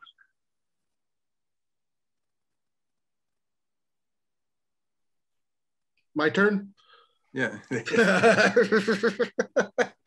um, just briefly, I mean, you say it's less expensive. Is are we talking a lot less expensive, a little less expensive? I mean, all, obviously, all savings are going to hopefully accumulate, but Uh, we're talking, uh, if you're looking at the back of your packet in the manager's report, concrete has a cost per lineal foot of $19.64. Hot mix has a total cost per lineal foot of $9.88. Oh, yeah. So we're, we're talking about substantial difference. Yeah. Okay. Thank you. Um, I, I would totally be in favor of, um, of, I, I see Gary's after me, uh, of talking about this with RJ um, next meeting. It does sound like it's a, it's a very, uh, it is a trade-off between aesthetics and um, cost savings. So I think a map would be really nice. Uh, also, I think if you could um, give us some ideas of where maybe in the packet so that people can do this before the meeting where the hot mix is being used so we can see what hot mix looks like uh, that would that would be helpful um, Right off the top of my head, the best example that I would I would offer you is uh, uh, as you go up South Street uh, beyond um, Crescent Boulevard, uh, there's an asphalt sidewalk that takes you up to the cemetery. And that's been in place a long time. Okay Sure, that's probably 20 plus years installed. and what is the is it hot mix um, at bennington college going over to hannaford or is that something different No, that's, yeah, hot mix. okay okay It's, it, Jeannie, it's the same material that we use on streets. It's pavement. Well, It's- all I know, and I hate to say this out loud, but whatever was put down at the bottom of Imperial Avenue before the sidewalk restoration was happening um, looked like straight asphalt and it was very unattractive. So, um, so oh, I see, because it was p- patched in. it was patched in. Yeah. So, yeah. So that's why I'm trying to figure it out. That that probably was that probably was cold mix, so it wasn't actually the right material for a permanent solution. But Okay. Yeah. Great. All right. Thank you. Gary, your turn. As um, many of you know, I walk uh, Sophie the dog every day, a lot on the sidewalks. And Jim's point about the, the heat uh, that is accumulated in the summertime from sun on pavement um, will be an issue for people like me and, and other people who are walking their dogs. So I, I just, I think having a map, knowing where this might be, um, would be, uh, would be very helpful. And, and I don't know if the pea stone isn't, is, uh, if you could actually use like that, uh, that mix, but it doesn't seem like that works on a sidewalk. That's not a realistic option, unfortunately. It's not what they- Yeah, yeah. that they do nowadays. So, I mean, we could look at whether there's binders that are, that are a different color or something like that, but be interesting. It was Dan. It was a realistic uh, enough uh, use for the town to have done it for 20 or 30 years on on our rural roads. Uh, Don't take my word. Talk to Roger Cross.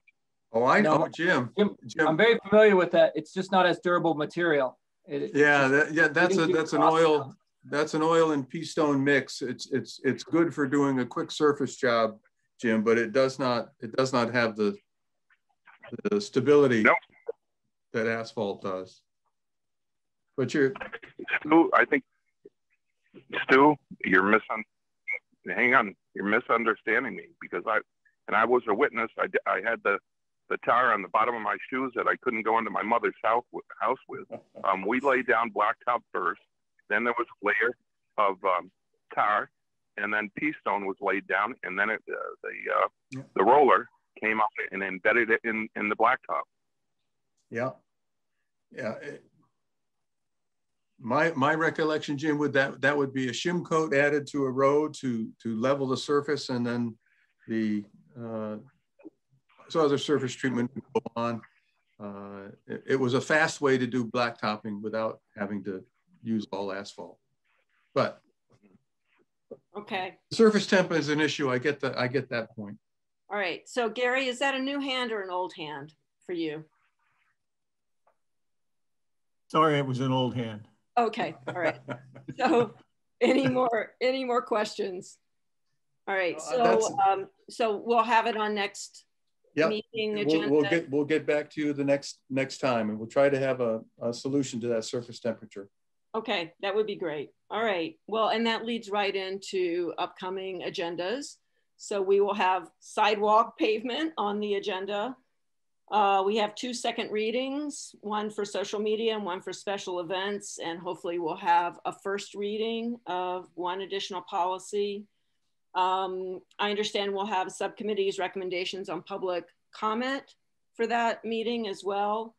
And then sometime either that meeting or an upcoming meeting, we will have uh, we, the opioid response team update and data collection, um, which is thank you very much, Sarah, for for working on that.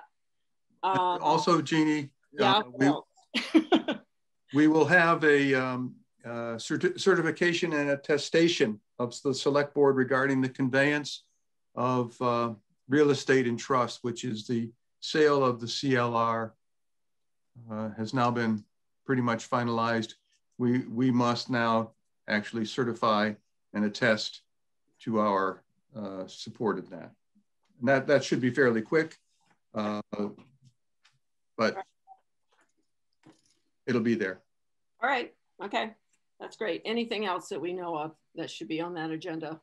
Just so the people listening at home uh, can get ready. All right. Yes, Jean. What about um, the public comment? Any any of the suggestions that the subcommittees? Yeah. Yes, okay. the subcommittee's recommendations on public comment. Yeah. Yes. Yeah.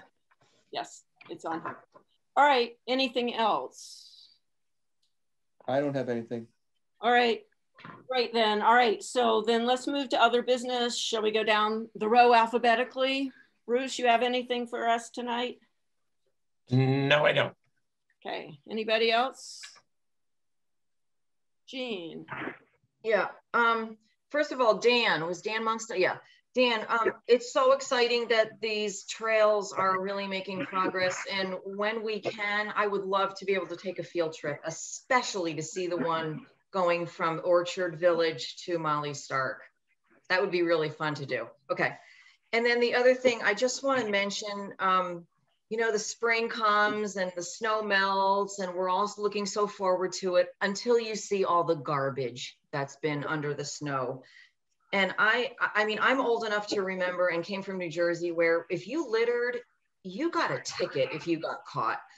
The amount of garbage that is on our roadways, I find it is just so depressing and so sad that we can't, I find myself not even being able to enjoy the snow melting.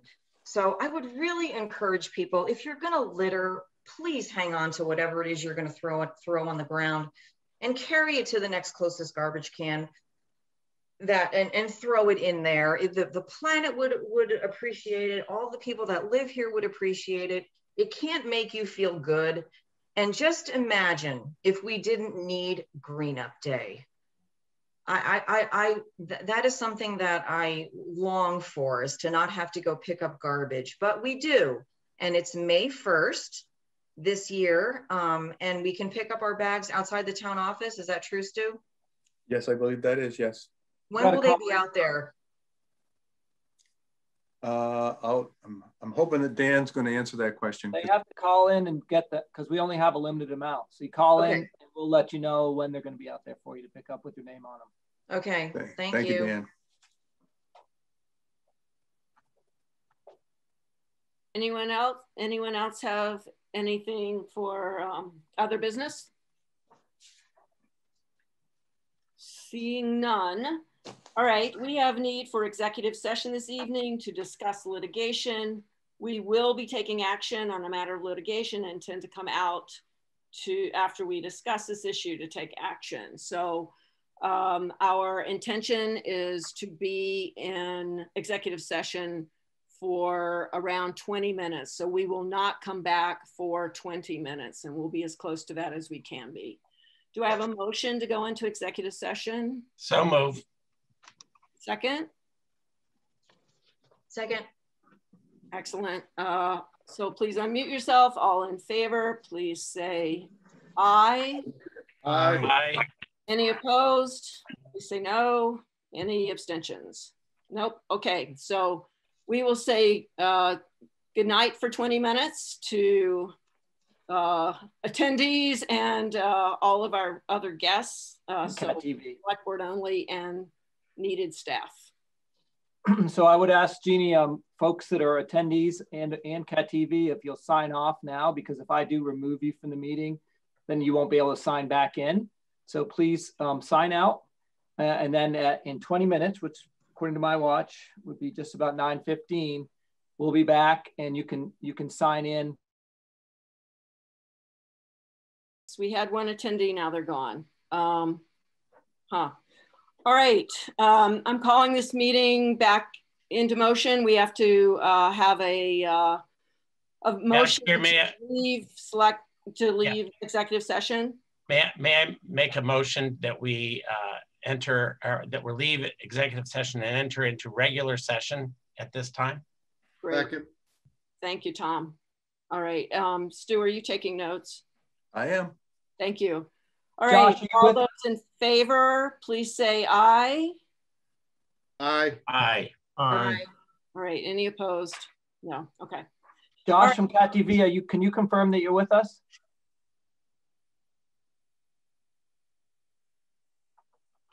Jo Josh? Okay, good. So Thank you, uh, Josh. Are, are you? Thank you for your patience. now? Josh, are we live now?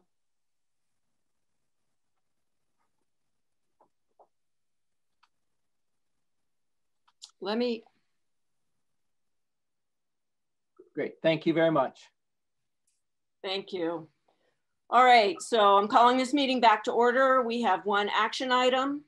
Uh, I would like to ask for a motion to accept the settlement of a complaint brought against, brought before the Human Rights Commission by Kiah Morse, James Lawton, and JL against the town of Bennington and the Bennington Police Department. Do I have a motion?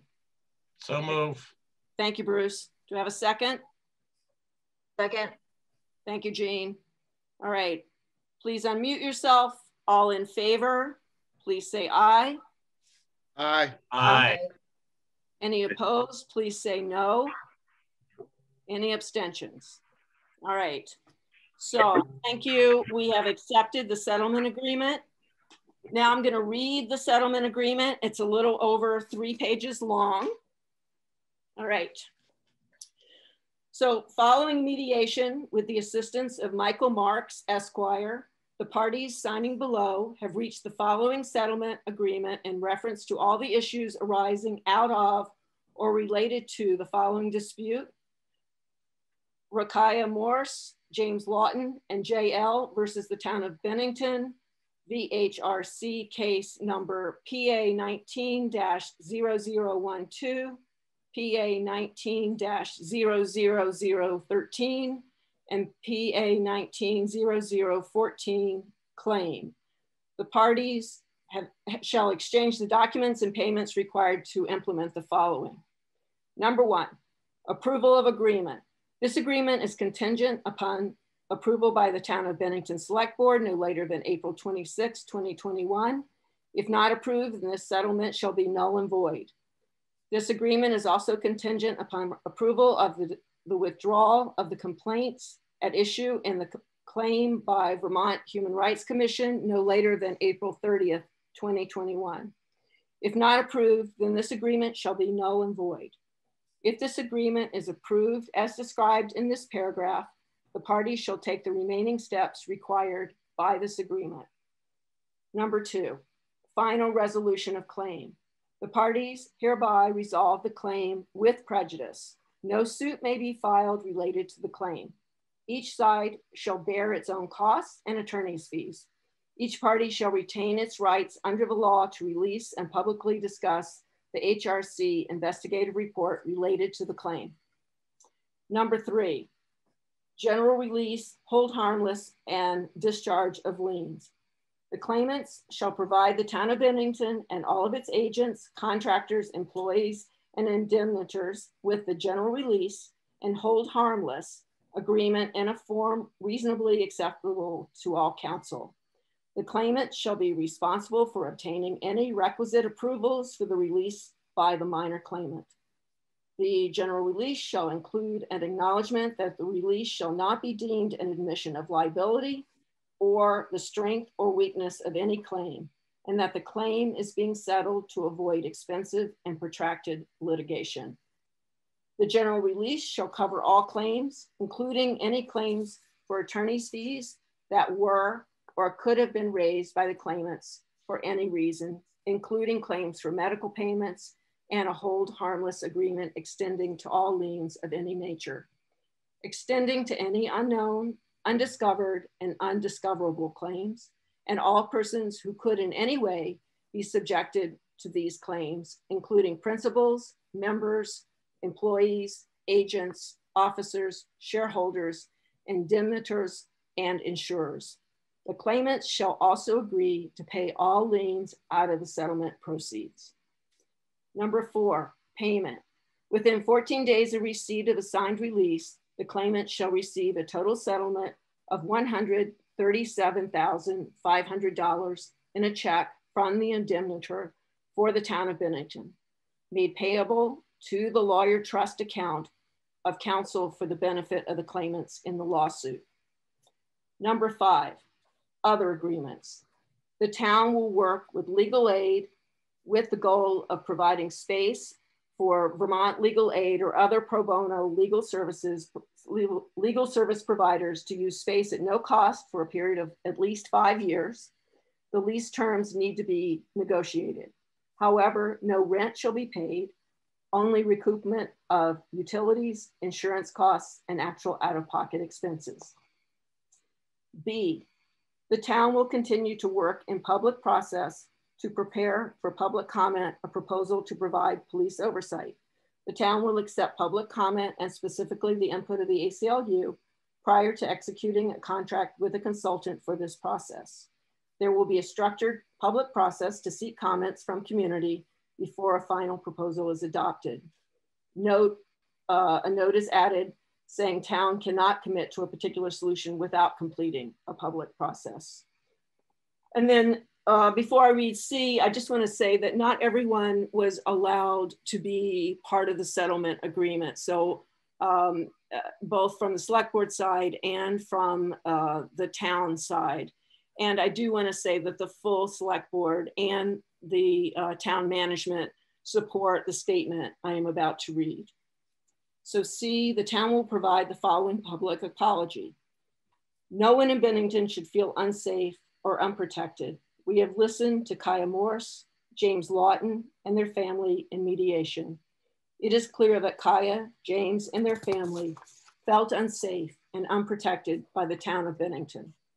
We have to do better by all persons who live in, work in, or travel through the town of Bennington, irrespective of color, race, religion, and other categories as protected by law. The town of Bennington apologizes to Kiah Morris, James Lawton, and their family for the harms and trauma they encountered while residing in Bennington, and we fully acknowledge this reality. We pledge to learn, to do better, and to protect all of our citizens. Number six, miscellaneous. This agreement represents a compromise to avoid litigation. By making this agreement, no party makes any admission concerning the strength or weakness of any claim or position. This agreement is a comprehensive agreement. All prior understandings and discussions are merged into this agreement. This agreement may only be amended by a written instrument signed by all parties. The parties shall execute such additional documents as are reasonably requested to implement this agreement. This agreement shall be interpreted under the laws of the state of Vermont. All parties are represented by counsel in the drafting of this agreement. All parties voluntarily made this agreement in compliance with the legal advice of their counsel. The presumption against the drafter shall not apply to the construction of this agreement. Any participation by the mediator in the drafting of this agreement was in his capacity as mediator in recording mutually agreeable settlement terms and does not constitute legal advice to any of the parties. Photocopies of this agreement shall be as effective as the original. The agreement shall be binding and enforceable against the successors, heirs, and assigns of the parties. Dated April 14th, 2021, signed by Kiah Morris, individually and as guardian for JL, James Lawton, individually and as guardian for JL, Stuart Hurd, agent for all defendants in lawsuit and their indemnitor, uh, Vermont League of Cities and Towns and PACIF, and Robert Appel, Esquire, counsel for claimants, and Mick Leddy, Esquire, counsel for defendants in claim. Our hope is that this agreement will provide some much needed healing for our community and help us to move forward in achieving our town vision. So in that, I wanna thank you all for uh, staying with us through the end of this meeting and we will adjourn tonight and see you again on May 10th. Could I have a motion to adjourn? So moved. Thank you, Tom. Second? Second. Second. All right, thank you, Gary. All right, good night, everyone.